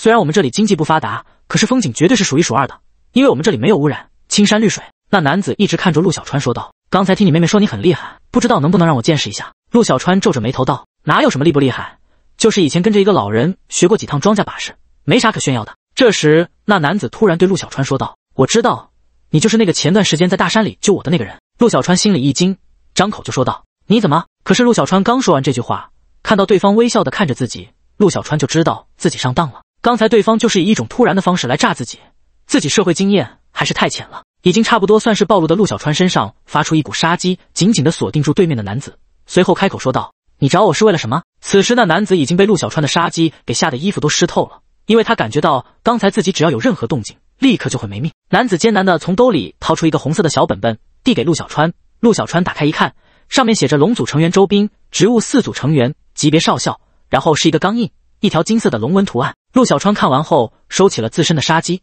把红色的小本本还给了对方。然后对周斌说道：“你是叫周斌是吧？实话告诉你吧，上次我救你是因为巧合，我不想被人打扰，希望你们以后不要来烦我。我只想做一个悠闲的小农民。”周斌道：“我还是叫你前辈吧，前辈，以你这么好的武功，为什么不为国家做点贡献呢？你在这儿是不是有点浪费你这一身好功夫了？我希望前辈能考虑加入龙族。”陆小川淡淡的开口道：“我不喜欢被人打扰，喜欢安静。你走吧。”说完就走进了房间。周斌想跟上去，可是这时大虎和二虎已经来到了他的面前。呲着牙向他逼近，周斌无奈之下只能离开，回去找队长说明此事。陆小晴做好饭之后，跟陆小川正在吃饭。陆小晴张口问道：“哥，刚才来的那个男的是干什么的？”陆小川一边吃饭一边说道：“就是一个来这边旅游的，想找一个会武功的人拜师学武功。”陆小晴哦了一声后说道：“哥，你能不能教我武功啊？这样以后我就可以自己保护自己了。”陆小川说道：“好啊，明天早晨开始六点起床，跟着我先打基础，等基础打好了，就教你真正的武功。”第二天一大早。陆小川直接把陆小晴从被窝里拉了出来，然后就开始教她扎马步、踢腿。陆小晴此时有点后悔了，好好的懒觉不睡，学什么武功啊？刚开始陆小晴是很痛苦的感觉，可是，一连好多天的时间，慢慢的也让陆小晴习惯了。每天早晨已经不用陆小川叫她起床了，基本的动作也做得有模有样了。这天，陆小川带着陆小晴练习完，吃完早点以后，陆小川发现门口过来了一辆车，感受到里面的人之后，陆小川叹了口气，因为该来的还是来了。不大一会儿。周斌带着一个五十多岁的男子来到院子门口，刚要敲门，陆小川直接说道：“进来吧，门没锁。”周斌带着那个五十多岁的男子走了进来。陆小川让陆小晴带着大虎和二虎去看看后面的菜地。周斌来到陆小川面前，指着那个五十多岁的男子说道：“前辈，你好，打扰你了。这位是我的上级领导钱长生。”钱长生上前一步，跟陆小川握了一下手，道：“你好，我叫钱长生，不知道阁下怎么称呼？”陆小川说道：“我叫陆小川。”你们可以叫我小川。”钱长生哈哈笑道：“那我就托大叫你一声小川吧。今天我来主要是想跟你商量一件事情。”陆小川直接说道：“我知道你们的目的，但是我这个人喜欢清静，所以你们就不要来找我了。我就是一个合法的小农民。”钱长生笑了笑道：“小川，你有这么高的一身武功，要是就躲在这里当农民，岂不是埋没了？我可以答应你，只要你加入龙族，你的一切都是自由的，除非有任务找你，否则绝对没有人来打扰你的生活。而且你想，只要你加入了龙族，你就有一个身份了，到时候你干任何的事情都会方便很多。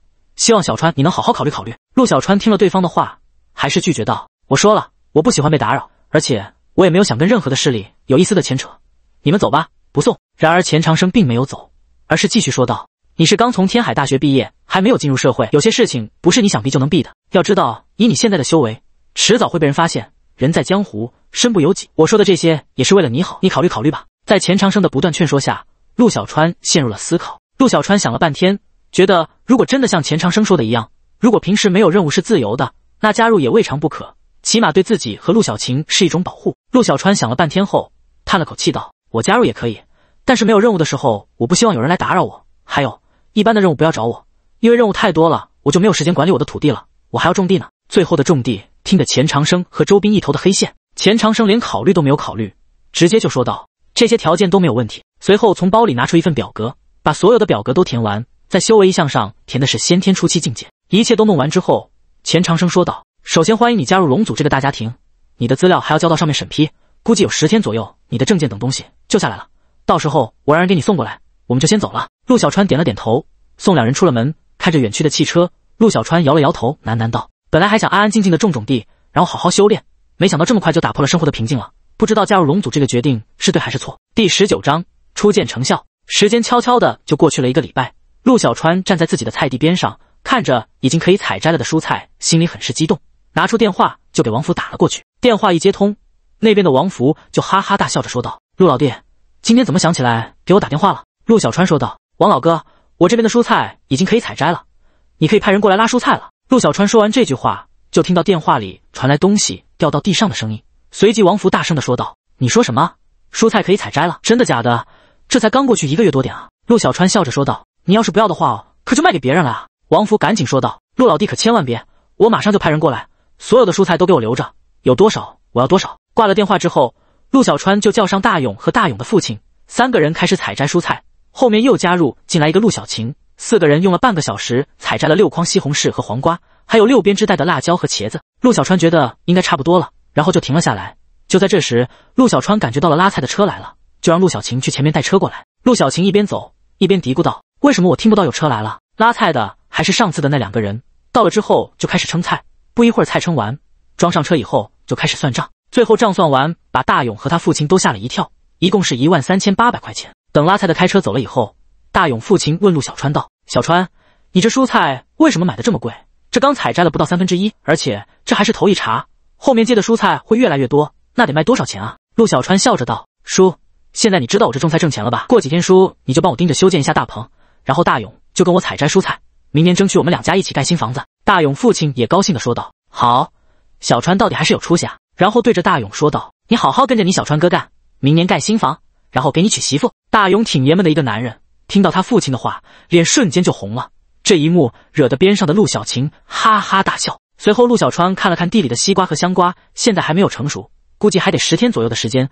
到时候这西瓜和香瓜一出，这钱就会源源不断，明年就可以修路盖房子了。一直到了下午，王福的电话打了进来，陆小川以为出什么事了，张口就问道：“怎么了，王大哥？是不是有什么事啊？”王福开心的说道：“老弟，明天我还要蔬菜，最好比今天的多一点。”明天一早我就让人过去拉。陆小川高兴的说道：“行，明天你直接让人过来拉就行。”随后，陆小川找来了大勇，告诉大勇道：“你在村里找几个踏实能干活、老实的人，由你带领。以后只要有采摘蔬菜或者地里有活的，就让他们干，一天给他们一百块钱。”大勇说道：“小川哥，一百块钱是不是有点太多了？这可是比县城的工资都高了。”陆小川说道：“没事，都是一个村的，多给点就多给点吧。哦，对了，你的工资不能比他们的低，你一天一百五十块钱。”听到陆小川的话。大勇高兴的说道：“你放心吧，小川哥，我一定给你把活干好。”就这样，大勇在村里找了四个比较踏实能干活的人，两个男的，两个女的。只要陆小川安排采摘蔬菜，第二天早晨，所有人就早早的到菜地里提前采摘好所有的蔬菜。这七八天的时间，一共采摘了四次蔬菜。现在陆小川的存款也有十万了，这算是一个很好的开头。今天陆小川准备去一趟县城，因为西瓜和香瓜已经成熟了。陆小川试吃了一下，简直是太美味了。他从来没有吃过这么好吃的西瓜和香瓜。于是陆小川让陆小晴在家里待着，自己拿个编织袋装了两个西瓜、四五个香瓜，骑着三轮车向着县城的方向行驶而去。因为在县城也不认识别人，所以陆小川直接去了福满楼。他想找王福，看看能不能有销路，把这西瓜和香瓜卖出去。到了福满楼，陆小川停好三轮车，背着编织袋就向里面走去。可是刚进福满楼的大堂，就被一个服务员给拦住了。服务员用鄙视的眼神看着陆小川，说道：“喂，你是干啥的呀？”陆小川笑着说道：“我是来找你们老板的，我有事跟你们老板说。”那服务员上下打量了一下陆小川，翻了个白眼道：“还找我们老板？我看你就是来要饭的吧？赶紧出去，一会儿让别的客人看到又要投诉了。”陆小川眼里闪过一丝不悦，冷声说道：“我就是来找你们老板的，请你说话尊重点。”就在这时，一个中年男子走了过来，大声说道：“干什么呢？这是怎么回事？”那服务员立刻换了个嘴脸，对着那中年男子说道：“吴经理，这个人说是来找老板的，还说有事要跟老板说。”那个所谓的吴经理看了一眼陆小川，对服务员说道：“什么找老板的？赶快叫保安过来给我撵出去！这点事都做不好，是不是不想干了？”服务员赶紧弯腰以跪舔的方式说道：“好的，经理，我马上就叫保安过来把他清出去。”随后就拿出对讲机喊道：“保安，保安，大堂里有人闹事，快来给清出去！”喊完人的服务员看着陆小川冷冷的说道：“既然你不愿意出去。”那我就把你扔出去！服务员刚喊完不到一分钟，大堂里就过来四个保安。那服务员指着陆小川说道：“就是他，给我把他扔出去！”四个保安看了看陆小川，随后就来到陆小川面前。其中一个保安对陆小川说道：“先生，请你出去。”说完还做了个请的手势。陆小川冷声的说道：“先别着急，说不定一会儿要出去的就不是我了。”陆小川边说话边拿出他那个老古董的手机，给王福打去了电话。第二十章疯狂的西瓜。陆小川拿着电话给王福打去了电话。边上的那个服务员不屑的看了一眼，有点讽刺的说道：“别装了，你再不出去，信不信我给你直接干住院了？”这时电话接通了，王福高兴的说道：“老弟，给我打电话什么事啊？”陆小川说道：“王大哥，我现在就在你福满楼的大堂里，可是有人要把我撵出去，你要是再不出现，我可就真的被人家给丢出去了。”陆小川说完后就挂了电话。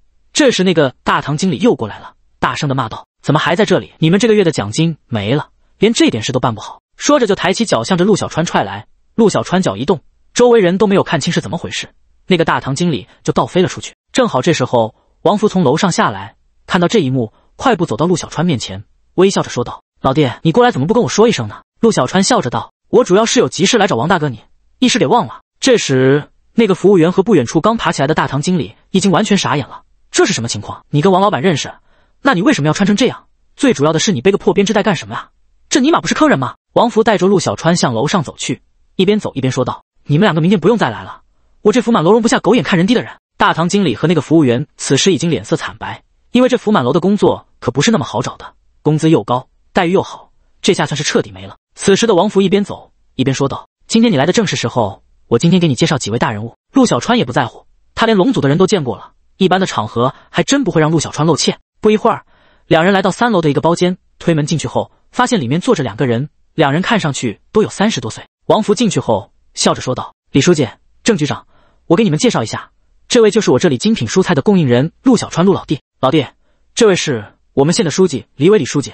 这位是我们县公安分局的局长郑刚，郑局长。”陆小川上前跟两人握了一下手，笑着说道：“李书记好，郑局长好。”随后四人落座。这时李书记说道：“陆小川，我就跟王总一样，叫你陆老弟吧。你种的这个蔬菜可是害苦了我啊。”自从我家里人吃了这个蔬菜以后，都不愿意吃肉了，天天要吃这个蔬菜，可是偏偏又量太少，不是每天都能吃到的。边上的郑局长也说道：“是啊，我们家里也是一个情况。”这时，陆小川说道：“现在不是不让大吃大喝吗？你们怎么还敢来这么高档的地方吃饭？”陆小川的话让整个包间都瞬间安静了下来。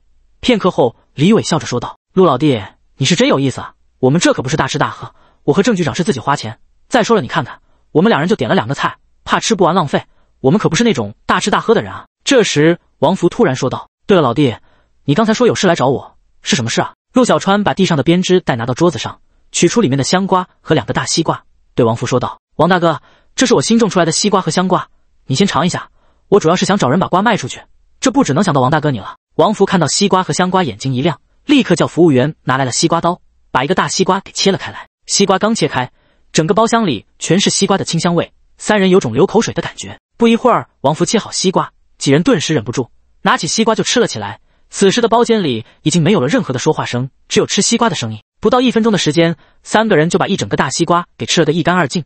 陆小川就静静的看着三人吃西瓜，脸上露出自信的笑容。吃完西瓜的王福激动的抓住陆小川的手说道：“老弟，你所有的西瓜我都包了，一斤给你八块，不，给你十块钱。”边上的李伟此时张口说道：“陆老弟，你这西瓜可不可以全县推广种植啊？你放心，只要你愿意，我做主，全县全力支持推广，让所有老百姓都能致富。”陆小川苦笑了一下说道：“不好意思，李书记，我这西瓜只能我自己种植，是没有办法推广的。要不然的话，还不早就满天飞了？那真是可惜了。”李伟叹了口气说道。随后几人又尝了一下香瓜，顿时几人觉得以前都白活了，从来没有吃过这么好吃的水果。最后，王福激动地跟陆小川定下了西瓜和香瓜的收购事宜。两种水果，西瓜以每斤十元钱的价格，香瓜以每斤十五元的价格，全部卖给王福。谈妥后，王福还一个劲地说占了大便宜了。事情定下来之后，几人就开始闲聊。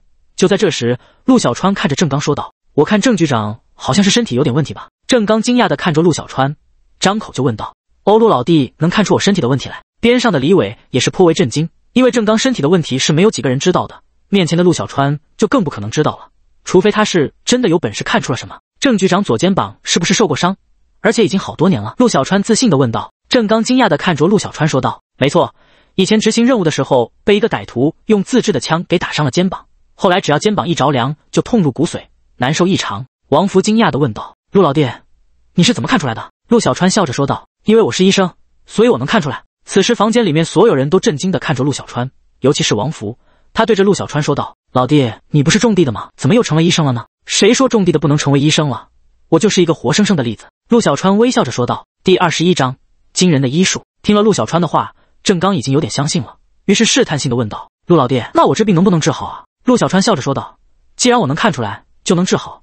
要不我现在就给郑局长治疗一下。”郑刚惊喜的点着头说道：“好，好，现在就来治一下。”因为郑刚这些年因为这个伤病遭受了太多的罪了，医院又没有办法治疗。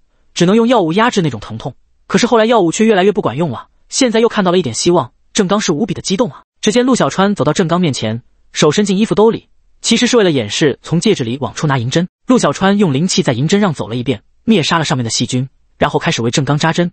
不一会儿，郑刚的肩膀周围就扎满了银针。因为每个银针上都带有一丝灵气，所以进入郑刚身体之后，这些银针不仅刺激着穴位，而且上面的灵气消除病因的根源。就是那附着在骨头上的一丝寒气。此时的郑刚只觉得肩膀处一阵发热，随后又觉得有点寒意。就这样持续了片刻后，陆小川取下了银针。边上的李伟惊讶的说道：“这就完事了吗？”陆小川笑着说道：“没错，已经好了。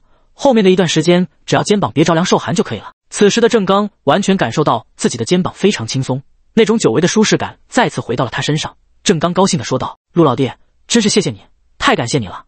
要不是你，我这辈子还不知道要遭受多少的罪呢。”陆小川摆了摆手道：“你们是王大哥的朋友，也就是我的朋友，这点事不必放在心上。”李伟和郑刚也同时说道：“没错，今天我们就是朋友了，以后有什么需要帮助的，尽管说话，但是违反纪律的事情可不行哦。”说完，王福哈哈大笑道：“你们放心吧，陆老弟的为人我可是很清楚的，好人一个。”最后几人交换了电话号码，李伟和郑刚因为有很多事情要处理，就提前离开了。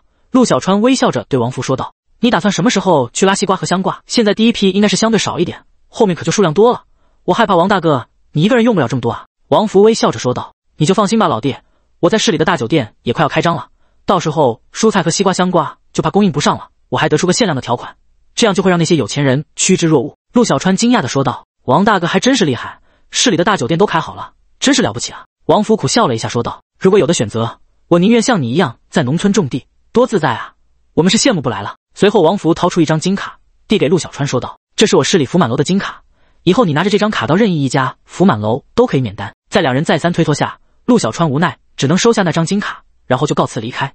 因为明天一大早，王福就会派人过去拉西瓜和蔬菜，所以陆小川的早点回去把人手安排好。回到家的陆小川找到大勇，告诉他明天一大早要采摘蔬菜和西瓜、香瓜，让他早点安排好人，分成两拨人，速度尽量要快点，因为早晨凉快摘的西瓜味道是不一样的。安排好事情后。陆小川就带着大虎和二虎向着地里走去，陆小琴就像一个跟屁虫一样跟在陆小川身后。不一会儿，陆小川就来到了大棚的修建处，干活的村民都跟陆小川打着招呼，陆小川也一一回应。这时，大勇父亲走了过来，对着陆小川说道：“小川，按现在的速度，还有十多天就可以完全完工了，到时候只要等墙体干透了，就可以开始种植了。叔，种植不着急，现在陆地的蔬菜和水果是够用的，等陆地的东西快要结束结果期的时候，提前二十五天左右种上就行。跟大勇父亲聊了一会儿，陆小川就带着陆小晴，后面跟着大虎和二虎走到了山脚下的一处空地上。陆小晴看着四处打量的陆小川，好奇的问道：“哥，你在看什么？这里有什么好看的？”陆小川说道：“我想在这里种桃树。小晴，你觉得怎么样？”陆小晴惊讶的看着陆小川说道：“哥，这里地方这么大，要是全种桃树，那得多大一笔钱才够啊？哥，你可不能乱来啊！”陆小川笑着说道：“好了。”现在只是想一想，离开宫还远呢。走吧，回去吧。天马上黑了，今天早点休息，明天还要早早的起来摘西瓜呢。听到摘西瓜，陆小晴眼睛一亮，追上往前走的陆小川，抱着他的胳膊说道：“哥，明天我也要摘西瓜，好不好？”陆小川溺爱的摸了摸陆小晴的头，说道：“好，明天就让我们家的小公主早早的起来摘西瓜。”回到家后，陆小川跟陆小晴两人简单的做了点吃的，因为陆小晴吃了一个香瓜，一点也不饿，所以两人就吃了几口就饱了。然后陆小川就让陆小晴去休息了，而他则进入了戒指里面。陆小川在戒指里就开始修炼了起来。不一会儿，周围就开始聚集了很多的灵气。陆小川把灵气吸入身体，开始在自己的体内运转。所过之处，一些未被打通的细小经脉也一一被打开。随着打开的经脉越来越多，陆小川的实力也在一点点的增长。因为戒指里时间流速的问题，到了第二天清晨，陆小川成功的突破到了炼气期中期。按武者的标准，就是到了先天中期。但是陆小川因为是修真者。所以可是比先天中期境界的武者要厉害许多。突破成功的陆小川感觉自己神清气爽，实力大增，心情很是舒畅。出了戒指，发现远处的地平线上太阳已经开始升了起来，天已经开始亮了。而此时，陆大勇已经带着十二个人，男女都有，来到了陆小川家门口。陆小川直接走出去，对大家说道：“起这么早，大家辛苦了。一会儿去四个人采摘蔬菜，剩下的人去摘西瓜和香瓜。记住，摘西瓜的时候挑熟的摘，生的不要。好了，大家赶快行动吧。”赶在八点半之前完事。第二十二章村民的羡慕。十多个村民加上不安分的陆小晴，八点就完成了所有蔬菜和瓜果的采摘。正好在这时候，王福派来的货车来到了陆小川家门口。这次足足来了三辆车，因为西瓜和香瓜比较不好拉，所以不能装太多。陆小川安排人把蔬菜和西瓜过完称。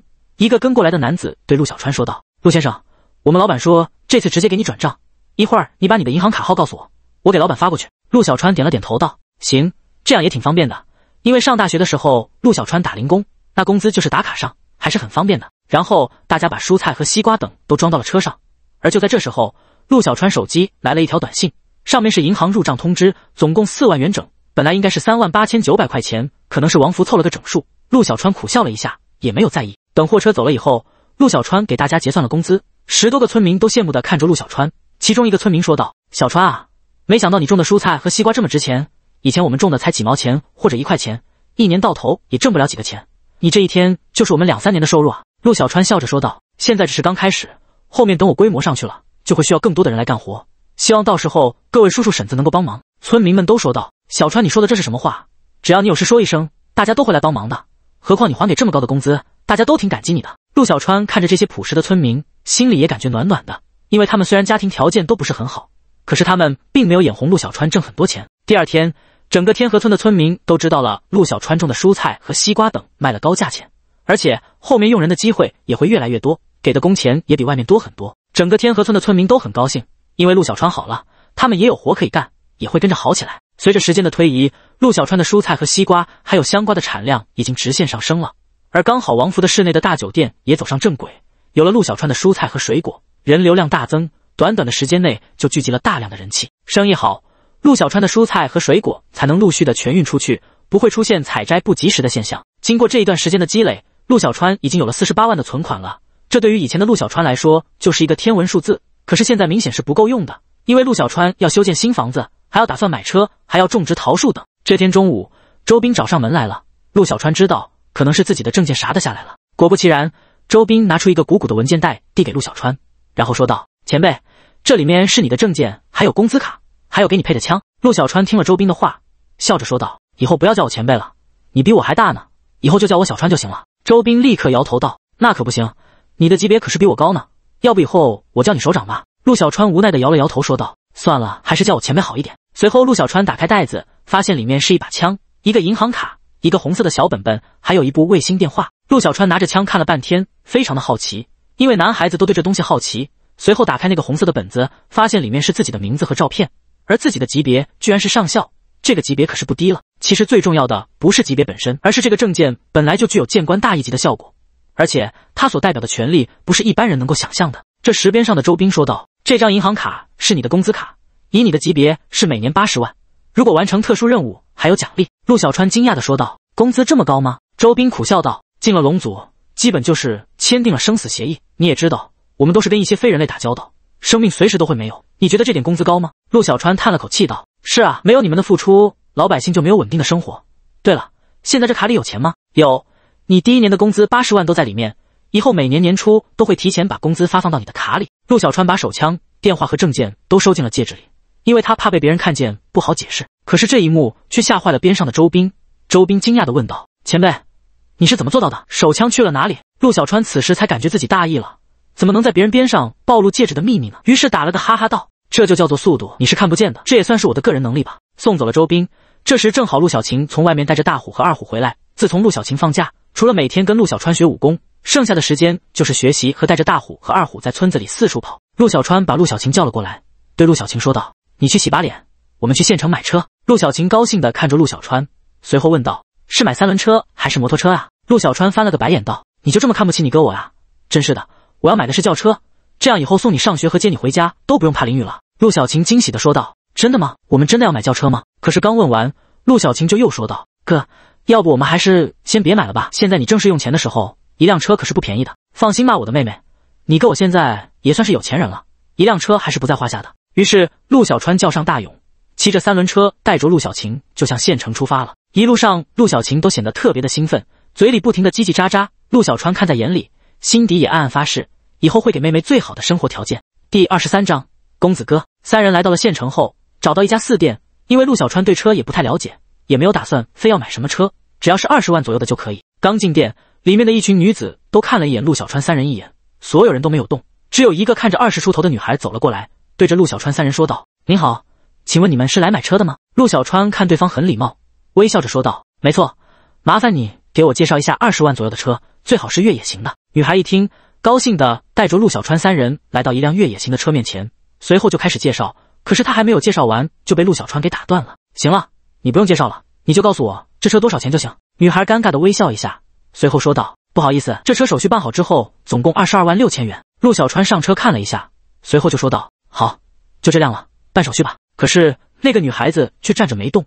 这时陆小晴拍了对方一下，道：“姐姐，收钱了。”这时那个女孩才反应过来，因为她从来没有见过买车这么利索的，啥也不听，也不让打折，看一眼就买，所以一时没有反应过来。就在陆小川把所有的手续都办理完以后，正准备开车离开的时候，一道声音传来：“哟，小美女，你怎么跟着两个土包子啊？”太可惜了，走，跟哥走，保证你每天吃香的喝辣的，怎么样？原来就在三人要上车时，一个二十多岁的年轻人带着两个男子，看到陆小晴长得挺漂亮，于是就发生了刚才的那一幕。陆小晴气得脸通红，愤怒的说道：“走开，我不认识你，这还不简单？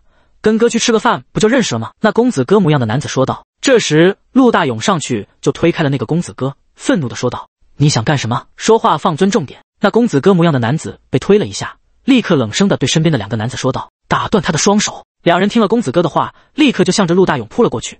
可是他们来得快，去的也快。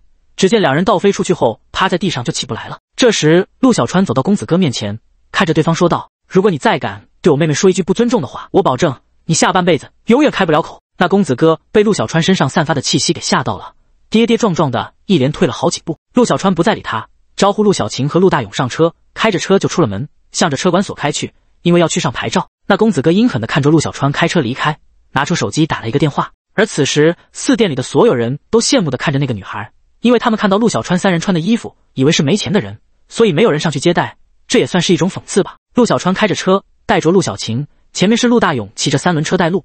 可是走了不到十多分钟的时间，他们就被三辆车给截停了。只见从三辆车上下来十多人，随后一个五十多岁的的男子从一辆豪车里走了下来，向着陆小川的车走来。陆小川让陆小晴待在车上。自己下了车就迎了上去。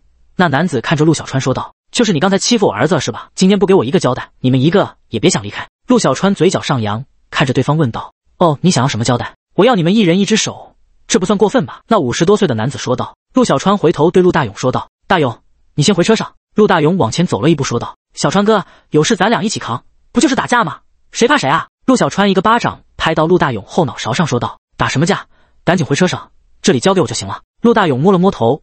对陆小川说道：“那小川哥，你小心点，要是有什么事，我就冲出来帮你。”看到陆大勇上了车，陆小川对着那五十多岁的男子说道：“我想好了，不打算给你们任何交代，你们准备怎么办呢？”那男子听到陆小川的话，知道是在耍他，手一挥，十多个人就向着陆小川扑了过来。在车上的陆大勇看到对方的人向陆小川冲去，立刻就想下车去帮忙。可是还没有等他下车，接下来的一幕彻底的让他惊呆了。原来陆小川直接冲到十多人面前，前后不到二十秒的时间，那十多个人就已经躺在了地上。这时马路周围都造成了堵车，远处也围满了看热闹的人。陆小川几步走到那男子面前，缓缓的说道：“怎么样？现在还要不要给你交代了？”此时那男子脸色已经被吓白，因为他从来没有见过这么厉害的人。要知道，那十多个人里面可是有当兵出身的人啊，就这么几下子就被摆平了。而就在这时，突然传来了警报声，不知道是谁报了警，警铃声越来越近。片刻后，两辆警车就停在了不远处，一共八个警察快速的来到现场。这时，那五十多岁的男子冲着一个警察说道：“赵队长，你来的正好，我的人被人打了，而且我也受到了危险。”那个被称之为赵队长的警察看到对方，笑着说道：“这不是深辉地产的魏云魏总吗？是谁这么大胆子敢威胁你？”这个叫魏云的指了指陆小川，然后说道：“就是他，他不但打了我的人，而且还威胁我。现在我要控告他。那车里还有他的两个同伙。”赵队长来到陆小川面前，张口问道：“这些人是不是你打的？”陆小川无所谓的点了点头，随后说道：“人是我打的没错，但是还是请你调查清楚原因的好。”赵队长冷哼一声道：“好，既然承认是你打的就好，给我把他带走。”车里的两个同伙也一起带走。听到赵队长的话，顿时边上的警察就向着陆小川走了过来。此时陆小川知道，这个赵队长肯定是和那个叫魏云的人相识，而且关系很不一般。第二十四章反转。陆小川知道自己不采取点行动，今天不止自己要被带走，连妹妹和大勇也无法避免。所以陆小川阻止了要动手的警察，掏出电话，一个电话就给郑刚打了过去。电话接通后，郑刚大声笑着道：“陆老弟，今天怎么想起来给我打电话了？”陆小川就把事情的经过仔细的说了一遍。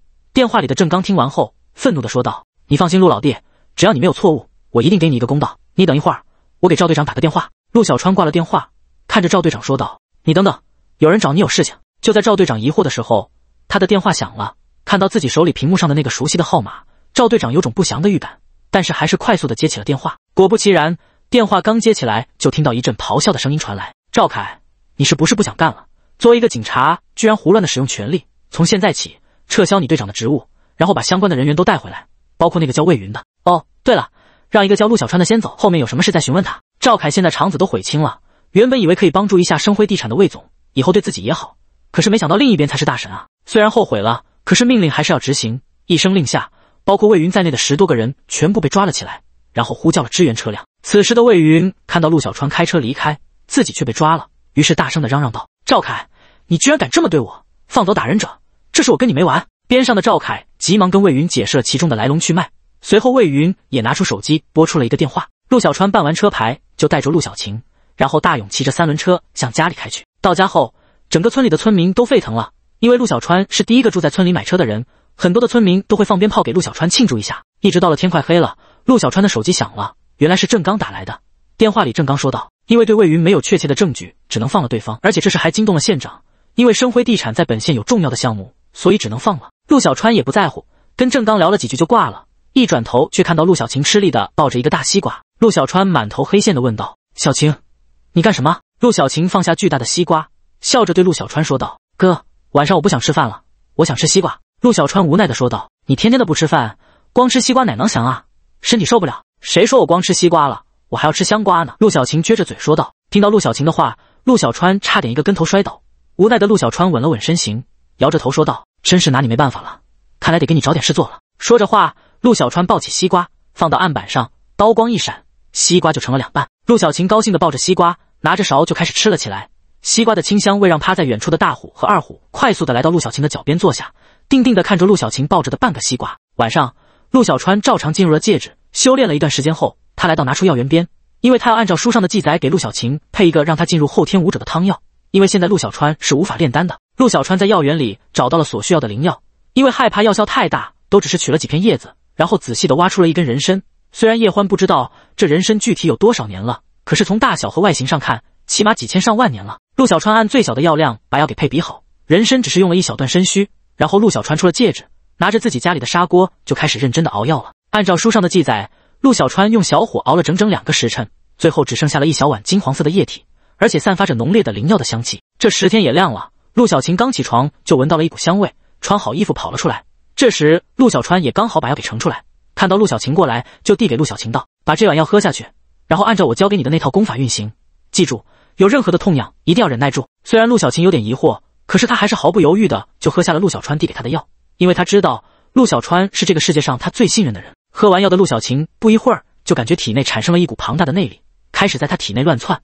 这一下下的她赶快盘腿开始运转陆小川教她的那套功法。陆小川也紧张的在边上站着，随时准备出手。因为他也是第一次配置这种增加修为的药，自己心里还是有点担心。盘腿坐着的陆小晴，此时因为那庞大的药力在体内爆发，经脉隐隐约约有点承受不住，那种撕裂感让陆小晴眉头紧皱，身上的衣服也逐渐被汗水打湿。边上的陆小川看到这里，害怕陆小晴第一次要产生内力，没有狠心和毅力，所以陆小川直接用手贴在陆小晴的后背上，用自己的灵气催动着他体内那庞大的药力，改善他的身体。有了陆小川的帮助。陆小晴的痛苦很明显的减少了许多，眉头也逐渐的松开。随着时间的推移，陆小晴身体强度终于跨过了炼境境界，体内开始产生了一丝内力。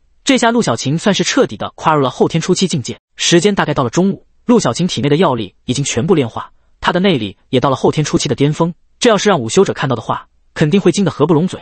因为武修者要想跨过炼境境界，必须要经历多年的苦修才可以。而陆小晴跟着陆小川练了不到一个月的时间，就直接到了后天初期，这简直就是作弊。醒来的陆小晴感觉自己进入了一个新的大门，浑身充满了力量。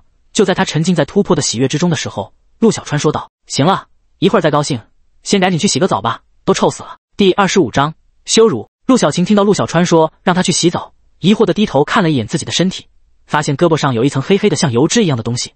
陆小晴尖叫一声，转身就跑向屋内。片刻后，陆小晴洗干净身上的脏东西后，头发湿漉漉的走出来，害羞的对着陆小川说道：“哥，刚才我身体上那么多脏东西，你会不会嫌弃我啊？”说完后，用水汪汪的大眼睛眼巴巴的看着陆小川。陆小川拍了拍陆小晴的脑袋，说道：“那是你突破境界时体内排出来的垃圾毒素，随着年龄增长，每个人都会有的。行了，快去把头发吹干吧，别着凉了。”陆小晴高兴的像个小孩子一样，蹦蹦跳跳跑进了他的房间。这时，陆小川手机响了。接通后才知道是学校老师打来的。原来陆小川回来的早，毕业证还没有发，学校打电话让他回去拿毕业证。刚开始陆小川是不想去拿了，可是后来一想，爷爷辛苦的让他上大学，拿回来也是对爷爷生前希望的一种回报吧。陆小川告诉陆小晴自己要出去一趟，并且告诉大虎和二虎要保护好陆小晴，然后自己开着车一路向着学校开去。一个多小时后，陆小川到了学校门口，看着这个自己待了快四年的地方，心里不由得一阵感叹。在学校里转了一圈。陆小川才去找到老师拿回毕业证。回到车上的陆小川看着毕业证，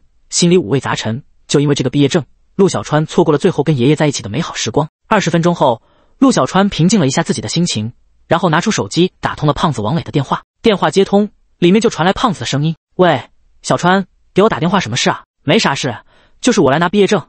现在我正好在大学门口呢，刚好跟你聚一下。你在哪里？”陆小川说道。胖子高兴的说道：“你在市里啊？刚好今天我也休息。”那我们就约个地方，就福满楼吧。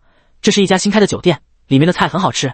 今天带你去尝尝，一会儿不见不散。好，我现在就过去，一会儿不见不散。挂了电话的陆小川苦笑一下，没想到是福满楼，这只能说是缘分吧。十分钟后，陆小川开着车找到了福满楼，停好车，看着这十多层高的酒店，陆小川想到这王福也算是个有本事的人啊。就在陆小川看着酒楼发愣的时候，边上传来一句嘲笑的声音：“哟，这不是陆小川吗？怎么了？”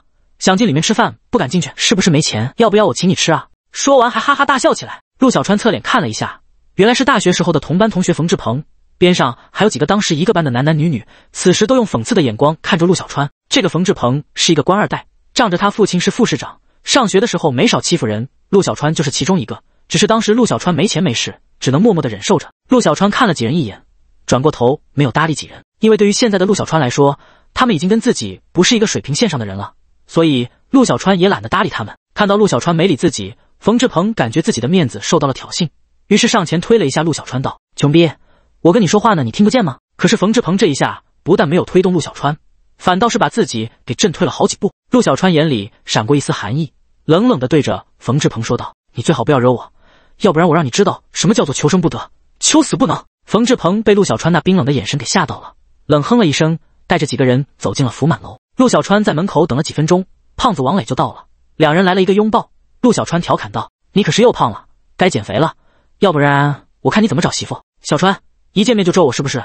再说了，谁说胖就娶不到媳妇的？我现在在单位可是有很多女孩子主动接近我的。胖子抬着头嘚瑟的说道。两人一起走进福满楼，这时，一个女服务员上来热情的问道：“请问两位有预约吗？”陆小川摇了摇头道：“我们没有预约。”这时，那服务员说道：“那就不好意思了，我们这里从上周开始就必须要预约才能就餐，要不然没有位置的。”胖子王磊遗憾的说道：“怎么办，小川？要不我们就换一家吧？”陆小川本来也想就算了吧，换个地方也是可以的，但是看到胖子王磊那遗憾的模样，只好掏出了那张王府给他的金卡。服务员看到金卡后，眼里闪过一丝震惊，很明显他是认识这张卡的。只见服务员拿着金卡到前台打了个电话，不一会儿就从楼上下来一位三十多岁的戴眼镜的男子。男子接过金卡，走到陆小川面前，恭敬的说道：“你好，先生，欢迎来到福满楼，两位请跟我来。”于是陆小川和胖子跟着眼镜男一路来到了三楼的一间包厢前面。打开包厢门后，眼镜男说道：“这里是我们福满楼的至尊包厢，平时都不会用，只有再来尊贵客人的时候才会使用。今天的安排，希望两位满意。”陆小川点了点头，道：“行了，赶紧点菜吧，我们都有点饿了。”而此时，二楼的一间包厢内，一个男子在冯志鹏身边说道：“鹏哥，刚才我看到陆小川和王磊两人在经理的带领下去了三楼的包厢。”冯志鹏皱着眉头道：“陆小川和王磊都没有什么背景啊，这福满楼的经理为什么要带他们去三楼？”这时，边上的一个男子道：“管他什么背景呢？”找人把他们两个给修理一顿就好了。而此时正在点菜的陆小川眉头微皱，随后满不在意的点好菜，并且告诉经理快点上菜。那经理出去以后，憋了半天的胖子终于忍不住了，开口就问道：“小川，你拿的那是什么卡？为什么我们可以来福满楼的至尊包厢吃饭？”因为胖子可是知道陆小川的家庭情况的，所以他内心有很大的疑问。第二十六章遭遇围攻。陆小川听到王磊的话，笑着说道：“没什么，就是我跟这福满楼的老板认识，他送给我的卡。”小川，你说。你跟这福满楼的老板认识？王磊惊讶的说道：“嗯，你也知道，我现在是农民，我种的蔬菜跟水果都是供给福满楼的，所以就跟福满楼老板认识了。”陆小川平淡的说道。王磊羡慕的看着陆小川道：“没想到你种的还真种出名堂来了。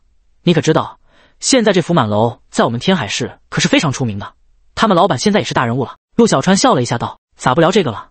你现在工作怎么样？”王磊叹了口气道：“刚开始工作，一个月也就两千七八百块钱的工资，勉强过得去吧。”等过了实习期，工资就可以涨到三四千块钱了。两人聊了一会儿，菜就上来了。王磊就像是几天没吃过饭一样，大部分的菜都进入了他的肚子。两人吃完饭后，福满楼的经理过来对陆小川说道：“您好，你持有我们酒店的金卡，今天所有的消费都免单。如果有什么不满意的地方，请尽管提出来。”陆小川微笑着说道：“都挺满意的，替我谢谢你们王老板。”那经理听到陆小川的话，心里暗道：“果然，这人是跟老板认识的，幸亏没出什么茬子。”出了酒店后，陆小川就开车送王磊回他住的地方。王磊在车上一边左看看右看看，一边说道：“真是没想到，你连车都买了。看来你选择回家种地的决定是正确的。要是选择打工，三年内都买不上这车。”陆小川笑着说道：“行了，等你结婚的时候啊，我送你一辆车。”王磊兴奋地说道：“真的假的？你要是这么说，明天我就找个人结婚。”说完，还嘿嘿的直傻乐。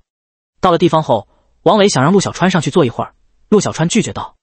回家还要一个多小时呢，下回再好好聚吧。陆小川开着车一路向家里开去，可是刚出市区就有三辆车把陆小川憋停了。陆小川笑了一下，道：“冯志鹏，没想到你真的动手了。既然这样，那就不要怪我不客气了。”陆小川下了车，看到三辆车上下来十多个手拿钢管和砍刀的男子，一看这些人就不是什么好人。陆小川也不客气，直接出手，不到三十秒的时间，十多个人都躺在了地上打滚。陆小川来到带头的男子面前，抓住对方的脖子说道。给冯志鹏打电话，那男子张口就说道：“什么冯志鹏，我不认识。”陆小川听到对方的话，手上慢慢的开始用劲。片刻后，那男子疼得忍受不住了，赶忙说道：“别捏了，我打，我打。”电话接通后，里面传来冯志鹏的声音：“事情办的怎么样了？”还没等男子开口，陆小川就拿过手机说道：“冯志鹏，你找的人不行啊！既然你这么想玩，那我就陪你玩一下，希望你还能继续靠着你老爸威风下去。”说完后就挂了电话。然后拿出自己的卫星手机，打通了周斌的电话。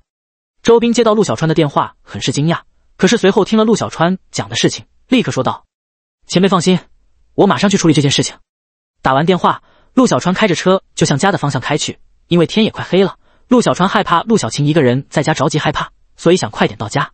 一个多小时后，陆小川回到了家里。陆小晴看到陆小川回来，跑过来扑到陆小川怀里，眼泪汪汪的说道：“哥，天都黑了，我以为你不回来了呢。”我一个人在家害怕。陆小川摸了摸陆小晴的头，笑着说道：“好了，你现在可是后天境界的武者了，还这么胆小。再说了，不是有大虎和二虎吗？他俩可是很厉害的，绝对能保护好你。没有你，我心里不踏实。以后你到哪里都得带着我，好不好？”陆小晴可怜兮兮的看着陆小川说道。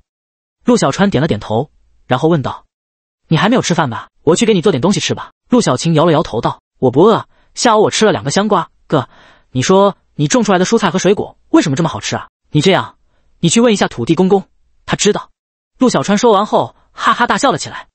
陆小晴抓住陆小川的胳膊，娇嗔的说道：“哥哥你好坏呀，居然戏弄我，看我今天打服你！”于是院子里发生了对打的一幕。陆小晴用陆小川教他的武功开始进攻陆小川，而陆小川连脚步都没有动，用一只手就挡住了所有的进攻。第二天一大早，拉蔬菜的车就来了。陆大勇带着村里的十多个人开始分工采摘蔬菜和水果，而陆小川则带着陆小晴在院子里练功。自从陆小晴突破到了后天，体内产生了内力，在练功方面就很积极了。因为他发现自己不只是有了自保能力，而且皮肤还比以前要好很多。半个多小时后，陆大勇来找陆小川，说是蔬菜和水果都采摘完了，让他过去看一下过称。陆小川摇了摇头，说道：“大勇，以后这方面的事情就全部都交给你了。”所有的东西都拿个本做个记录，然后参与工作的人也记录一下，以后工资一个月一结。大勇知道这是陆小川信任他，感动的说道：“小川哥你就放心吧，我肯定做好工作。”而在这时，陆小川的手机响了，是王磊打过来的。电话一接通，王磊就着急的说道：“小川，你看新闻了没有？冯志鹏他老爸被查了。”陆小川平静的说道：“没有啊，再说了，被查肯定就是有问题的，只能说查的好。”王磊疑惑的说道。听你这语气，好像对这件事没有什么兴趣啊。陆小川半开玩笑的说道：“你可知道，现在我是个种地的农民，很忙的，没有时间去关注这些的。好吧，你现在已经是一个种地的成功人士了，我等市井小民是无法望其项背的。”王磊酸溜溜的说道。第二十七章求助。火热的太阳照射着大地，此时的陆小川正躺在院子里的阴凉处打着盹。这几天，陆小川除了指导陆小琴练功，就是带着大虎和二虎漫山遍野的四处溜达。这边的山是属于那种连绵起伏，而且树林茂密的地方，里面有各种动物，有的甚至有点危险。但是这些对于现在的陆小川来说，简直就是小意思。这几天一直没有什么事情，陆小川就找人了解了一下修建房子的事情。陆小川是打算修建一个二层的别墅，一层有大客厅、厨房、卫生间，还有两间客房；二层是四间房间、两个卫生间，还有一个巨大的露台。然后别墅前面修一个大院子，可以在里面种一棵大树，夏天就可以躺在树下乘凉了。最后，陆小川了解完之后，知道了大概的价格。按照陆小川心里想的那样建造的话，加上最后的装修，总共需要五六十万。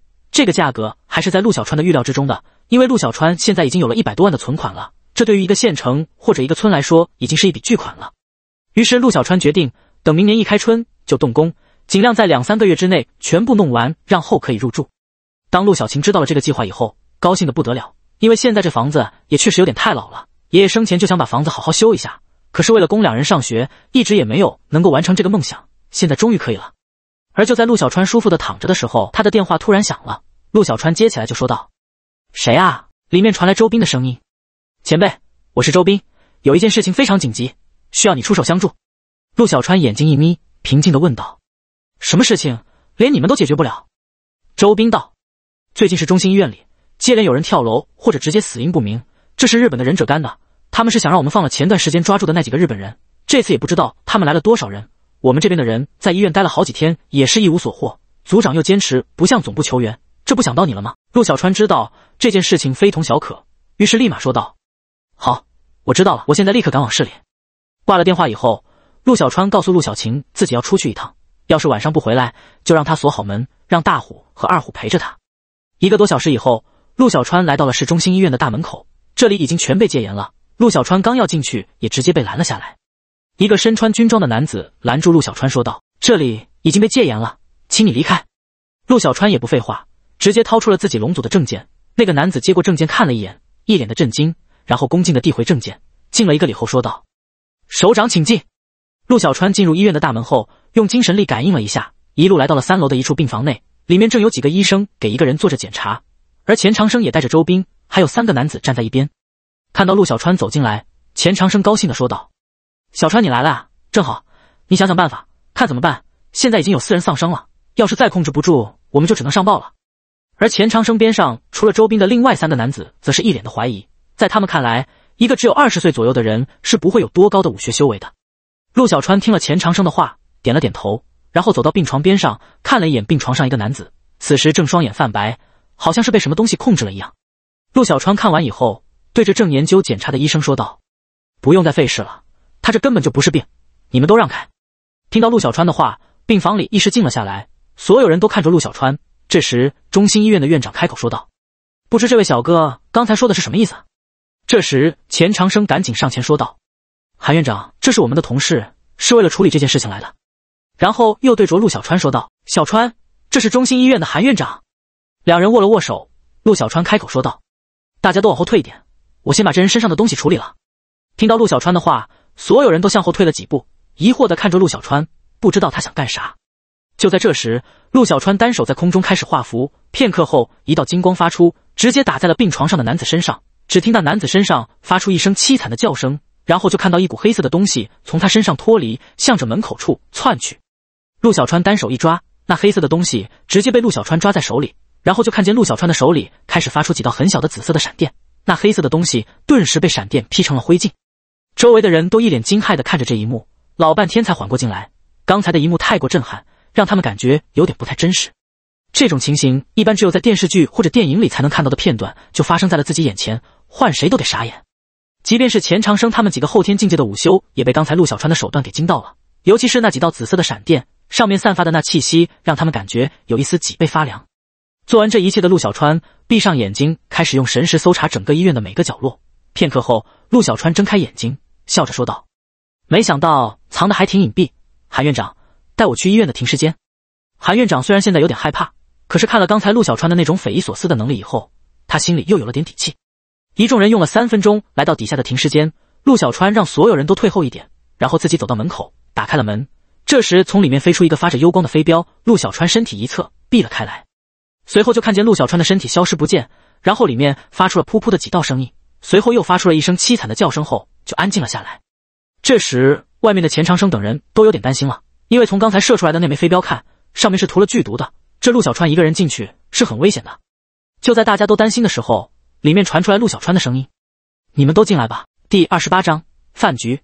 钱长生等人进入停尸间后，看到陆小川正背着手站在里面，地面上躺着四具尸体。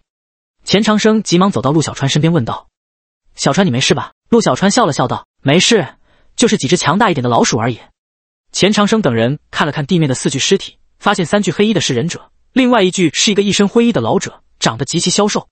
看到这个灰衣老者，钱长生惊讶的说道：“怪不得呢，原来是阴阳师，没想到为了几个人，居然舍得把阴阳师给派了过来。”陆小川疑惑的问道：“什么阴阳师？”钱长生说道。就是小日国的一个邪修门派，他们平时靠吸收人的死气和天地间的阴气来提高自身的实力，是一个让人头疼的存在。陆小川点了点头，看了一眼地面的阴阳师，随后说道：“现在事情也完了，那我就回家了。”钱长生立刻说道：“小川，别着急回去了，今天跟大家一块去吃个饭吧，也顺便跟天海市的领导见个面。”陆小川只能点点头，因为到现在龙族里他只认识钱长生和周斌两人。在大家往外走的时候。钱长生对身边的韩院长说道：“韩院长，今天所看到的一切事都要忘掉，不能传出去。你应该知道这里面的利害关系。”韩院长一头大汗，急忙点了点头道：“钱老放心吧，我知道该怎么做。”一众人出了医院大门，不远处就有几个人迎了上来，对着钱长生问道：“钱老，事情怎么样了？”“放心吧，事情已经解决了，让周围的人都撤了吧，后续的工作就麻烦你们来做了。”钱长生说道。这时开口，那男子说道。好，我为了这事已经好几天都没睡觉了。今天我个人请你们去吃个饭，谢谢你们及时的阻止了这件事，要不然还不知道会闹出什么乱子来呢。要是不小心弄出个人心恐慌，那可就不得了了。钱长生急忙说道：“周市长，这个就不用了。今天我请客，一是为了这事情的结束，二是为了我这兄弟。今天要不是他，估计这事就不好处理了。”听了钱长生的话，周市长和边上的市公安局局长江天花都一脸惊讶的看着陆小川，他们实在是没有想到。居然是这个年轻人解决了连钱老都没能解决的问题。钱长生此时说道：“走了，找个地方简单吃一点。”说着就招呼大家上车。一众人坐车，陆小川开着自己的车来到了一家饭店。众人下车后走了进去，里面虽然不奢华，但是收拾的却很干净。此时钱老开口道：“大家就在这简单吃一点吧，高贵的地方就不去了，我可请不起啊！”说完还哈哈大笑了几声。周市长和江局长赶紧道：“钱老，你太客气了。”平时我们都是吃点家常便饭，有时候忙起来可是连饭都吃不上的。今天你老请客，我们也吃点好的。于是，一众人在服务员的招呼下来到一个大包间，然后点了几个菜，因为开车的原因就没有要酒，而是要了茶水。这时钱长生指着陆小川给大家介绍道：“这位是陆小川，他可是有大能耐的人啊！”在座的人都知道钱长生话里的意思，也知道他们的身份很特殊，都站起来一一跟陆小川打着招呼。介绍完后，大家聊了会儿熟悉后，周市长举起茶杯对着陆小川说道：“我就托个大，叫你一声陆老弟吧，我以茶代酒敬你一杯。”陆小川微笑着说道：“周市长客气了，我就是一个在家种地的小农民，以后你们有时间可以去我家玩，那里风景还是不错的。”然后就是江局长和韩院长两人跟陆小川聊了一会，大家相互交换了电话号码。这时菜也刚好上来，大家就开始边吃边聊了起来。饭吃完以后，周市长和江局长两人先提前走了，因为还有很多的工作要做。韩院长也再次向钱老和陆小川致谢后也离去了。钱长生看着陆小川说道：“小川，今天辛苦你了，这次你可是立了功了，回去我就给你上报，估计会有不少的奖金。那就多谢钱大哥了，我也该回去了，以后有事再给我打电话吧。”陆小川开车回到家里，发现陆小晴不在家，大虎和二虎也不在。于是出门就向着院子后面的菜地里走去。到了院子后面，陆小川看到陆小晴正带着大虎和二虎在追什么东西。陆小川赶紧上前去查看。到了跟前，陆小川发现大虎和二虎每个嘴里都叼着一只野兔。陆小晴看到陆小川，高兴的说道：“哥，你回来了呀！你看，刚才我带着大虎和二虎来这边玩，发现菜地里有野兔子，这大虎和二虎抓住了两只。”陆小川看着冲着自己邀功的大虎和二虎，笑着说道：“好样的！”今天晚上有兔子肉吃了。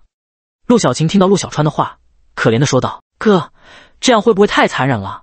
兔子这么可爱，你怎么能吃它们呢？”陆小川知道自己妹妹想的啥，张口说道：“那你养着它们吧，我不吃了。”陆小晴惊恐的说道：“我才不养呢！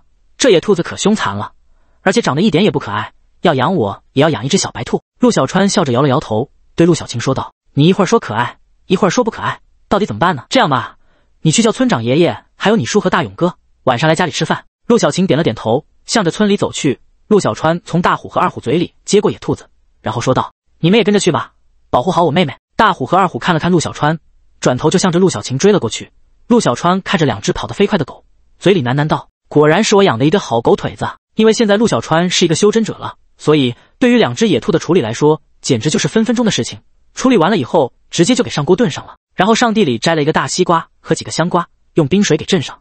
晚上吃完饭可以吃点冰镇西瓜，那绝对是很舒服的。不一会儿，陆小晴就回来了，对陆小川说道：“哥，我都告诉村长爷爷，还有陆叔和大勇哥了，他们说晚上准时过来。”第二十九章扩大规模。到了晚饭时间，锅里的兔子也炖了两个小时了。陆小川看了一下，感觉差不多了，就调好味，收了一下汤汁，出锅了。然后陆小川又炒了一个青椒肉丝，又做了一个红烧茄子，整了两个凉菜。而这时，老村长和大勇父子俩也刚好来了，几人就坐在一起。因为天热，大家都喝的冰镇啤酒。几个人一边吃一边聊。大勇父亲喝了一口啤酒后说道：“小川，大棚差不多快要完事了，到时候你看你要种什么？”陆小川说道：“还是种这些蔬菜，因为现在已经给人家供应上了。你要是换成别的，对人家也不好。”边上的村长说道：“小川说的对，人家帮着咱们致富，那我们也要懂得感恩啊。哦，对了，村长爷爷，我想承包北山脚下的那片土地，村长爷爷，你看能不能行？”陆小川对着老村长说道。老村长疑惑的看着陆小川说道。小川，那片土地可是荒废了很多年了，杂草丛生，非常的不好打理啊。陆小川笑着说道：“没事的，村长爷爷，我打算在村里找人，一天一百块钱，赶在天冷之前把那块地收拾出来，来年开春我直接种植桃树用。”老村长听到陆小川要种桃树，这才说道：“种桃树可以，那块地本来是村里收回来的集体土地，你要是想种，就直接签合同，完了你就去种吧，反正那土地闲着也是闲着，但是一个条件就是你要找我们天河村的人做工，而且不许欠村民的工钱。”要不然我可不饶你！陆小川端起啤酒，对着老村长说道：“你就放心吧，村长爷爷，我从小在天河村长大，你还不了解我吗？”一个小时后，几人一人喝了有四瓶啤酒。老村长可能是因为岁数大了，喝不下去了，就在边上吃东西，一边吃还一边说道：“小川这手艺没得说，这菜整的比饭店的好吃多了。”吃完饭，几人坐到一起聊天。陆小川对几人说道：“明年开春我就修房子，然后等我有钱了，就把村里的路修一下。”要不然一下雨实在是很难走。老村长高兴的道：“小川啊，有这个想法好。这么多年，我们这村人口越来越少，也没有什么经济支柱。好在有你出现，村里的人还能干点活挣点钱。现在你又要修路，我代表全村人谢谢你。”陆小川严肃的道：“村长爷爷，你这样我可生气了。我也是这个村里的一员，从小和爷爷也没少得到村里的帮助。现在有机会了，为村里做点事是应该的。”这时，陆小晴拿着切好的西瓜走了过来，几人可是知道这西瓜的好吃的，也不客气，大口的吃了起来。冰凉的西瓜彻底的赶走了那一丝的酷热。第二天，老村长大清早就通知村里的能干活的人都到村委会的那块空地上集合。陆小川也被老村长安排村里的孩子们给叫了过去。到村委会后，陆小川看到除了修建大棚的十二个人，剩下的能干活的人全来了，总共二十人。边上还有十多个小孩和一群不能干活的老人也围在边上凑热闹。这时，老村长开口说道：“大家都知道，这几年我们村的人口越来越少，村里也没有什么经济来源。好在我们村有小川，他打算在北山脚下那片地上种植桃树，这需要人来收拾土地，后期可能还要打理杂草和虫害。我跟小川谈过了，那土地就让他使用，但是他会让你们到他那里干活，一个人一天一百。大家要是觉得行，我就以村委会的名义跟他签合同了。”大家要是不同意，也可以提出意见。所有的村民都说道：“我们同意。那地荒着也已经好多年了，让小川种植也算是把土地利用起来，而且还能给我们提供工作的机会，我们肯定支持。”看到大家都同意，老村长高兴地对陆小川说道：“小川，你也说两句吧。”陆小川上前道：“现在我种植的规模还是相对比较少，后面等规模扩大了，需要的人多了，大家就都可以到我哪里工作。但是我希望大家干活要认真，不要糊弄。”以后工资也是一个月一结了，跟大家说一下。随后，陆小川就跟村委会签了合同，北山脚下那片土地从现在起算是到了陆小川名下。当然，这合同只能签二十年。签完合同后，陆小川带着大家来到北山脚下的那片土地上，然后告诉陆大勇，每个人每天来上工都要做登记，到最后看天数算钱。陆小川告诉村民们自己的规划，然后告诉他们该怎么干。安排完之后，陆小川看着这一大片土地，心里说不出的高兴。安排完事情的陆小川回到了家里，看见陆小琴正在练功，也没有去打扰，而是进屋把门反锁后，直接进入了戒指里。好几天没有进来了，陆小川感觉戒指里的灵气比外边浓郁太多了，于是盘腿就开始修炼了起来。而此时的天海市一栋豪华的别墅内，一个中年男子躺在川上，边上有市中心医院的韩院长和好几位本市的医疗专家在边上激烈的探讨着什么。而此时，一位非常漂亮的二十多岁的女孩子着急的问道。你们到底有没有办法治好我爸爸？一位头发花白的老者说道：“我们实在是无法检查出令尊有什么病，至于他为什么会出现这种症状，我们也是毫无头绪啊。”女孩子听到医生的话，眼泪都要下来了，着急的说道：“亏你们还自称是什么本市医术最好的人，我看就是一群自我吹嘘的庸医。”这句话可以说是让几位在本市的医疗体系有着深厚能量的人气的满脸通红，可是又说不出什么来，因为他们确实是无法查出人家身上的病因。就在这时，市中心人民医院的韩院长突然说道：“我倒是知道一个人，要是他愿意过来一趟，而且愿意出手，我相信令尊的病因应该是可以知道的一清二楚。”第三十章实力再增。听到韩院长的话，那女子着急的问道：“是谁？他在哪里？赶紧让他过来，多少钱都可以，只要治好我爸爸。”韩院长点了点头道：“我只能告诉你，我可以试一下，至于人家能不能来，就不是我能左右的了。”韩院长说完后，拿出手机拨出了一个电话。可是却是提醒无法接通。韩院长知道对方可能在忙，也没有敢再打，而是告诉那女子道：“电话暂时打不通，还是等一会儿再打吧。”而此时的陆小川在戒指里修炼已经到了紧要关头，只见他身体周围已经被灵气给包裹了，连人的模样都看不清了。片刻后，陆小川浑身一震，缓缓的睁开眼睛，惊喜的看了看自己的双手，因为他现在已经是炼气后期了，也就相当于午休的先天后期境界。感受了一下自己体内那无穷的力量，陆小川很是满意。因为实力越强大，才能把所有的一切都掌握在自己手中。出了戒指的陆小川发现自己的手机有一个未接电话，也没理会，而是去盯着陆小晴学习了。你别说，自从陆小晴突破到后天境界后，他学东西非常快，而且脑袋的反应速度也提升了很多。而就在这时，韩院长抵不过那女子的催促，再次拨通了陆小川的电话。陆小川接起电话，听到是韩院长，连忙说道：“韩院长怎么给我打电话了？是不是有什么事情？”韩院长不好意思的说道。陆先生，我这遇到一个病人，请了很多的名医，都无法查出对方得的是什么病，大家都束手无策了。我这不是没办法了，所以向你求助吗？陆小川听了韩院长的话，知道可能是事情棘手，要不然以他们的医疗设备和医疗水平，不至于连病因都查不出来。于是陆小川问清楚地址，开着车就向市里奔去。按着韩院长说的地方，陆小川到了之后，看到眼前的大别墅，陆小川嘀咕道：“看来还是个有钱人。”而这时。韩院长从别墅里跑出来，对着陆小川说道：“陆先生，您来了。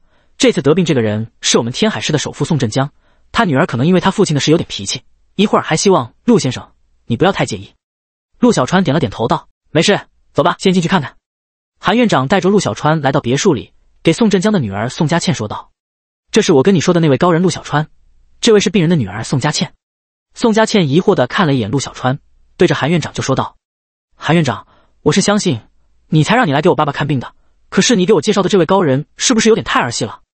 韩院长知道这是宋佳倩看陆小川的外表和年龄有点不太信任陆小川，所以韩院长说道：“宋千金，陆先生的实力和手段我是知道的一清二楚，我也是为了林尊才打电话给陆先生的，要不然这件事我是不会管的。”宋佳倩知道刚才自己说的话可能让韩院长很没有面子，于是稳定了一下情绪，说道：“韩院长，我也是相信你，今天就让这位所谓的陆先生给我爸爸治疗，但是要是出了什么问题，我宋家绝对会追究到底。”虽然这句话。是从宋佳倩一个二十岁的女子嘴里说出来的，可是，在场的除了陆小川，没有人会小瞧这句话，反而都是为陆小川捏了一把汗。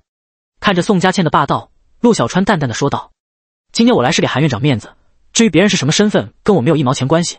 要想治病就让开，不治病我就要走了。”宋佳倩咬了咬嘴唇，狠狠的瞪了陆小川一眼，然后走到床边站在了一侧，很明显，她是想让陆小川为自己的爸爸看病。陆小川往前走了两步，看了看床上躺着的宋振江。只见他满脸发白，嘴唇发紫，眼睛涣散。看到这里，陆小川知道这宋振将是招惹了不该招惹的东西，也就是说被鬼物附体，才造成了他现在的这个样子。陆小川转过头对韩院长说道：“带所有人都出去，把门关好，任何人不得进来。”于是韩院长等人都鱼贯而出。这时宋佳倩也向外走去。陆小川突然开口道：“你不用出去了，一会儿还要用到你呢。”一切都准备好以后，陆小川站在床前打了个手印。然后在宋振江的天灵盖上面连着点了三下，随后就看到宋振江的身体上开始往出冒黑色的雾气。这一幕吓坏了站在床边的宋佳倩。这时陆小川又打了一个手印，随后就看到那黑色的雾气形成了一个骷髅头的模样，向着陆小川咬来。陆小川单手手指一弹，一道紫色的闪电从手指发出，击中了那个黑色的骷髅头。顿时，黑色的骷髅头被闪电劈成了能量，飘散在了空中。随后，陆小川抓住宋振江的手。用灵气在宋振江体内行走了一圈，清除了里面残留的鬼气，也顺便把他的身体给梳理了一下。而此时，边上的宋佳倩已经完全惊呆了。她刚才看到了什么？这个叫陆小川的人空手发出了闪电，而且一下劈死了那个骷髅头。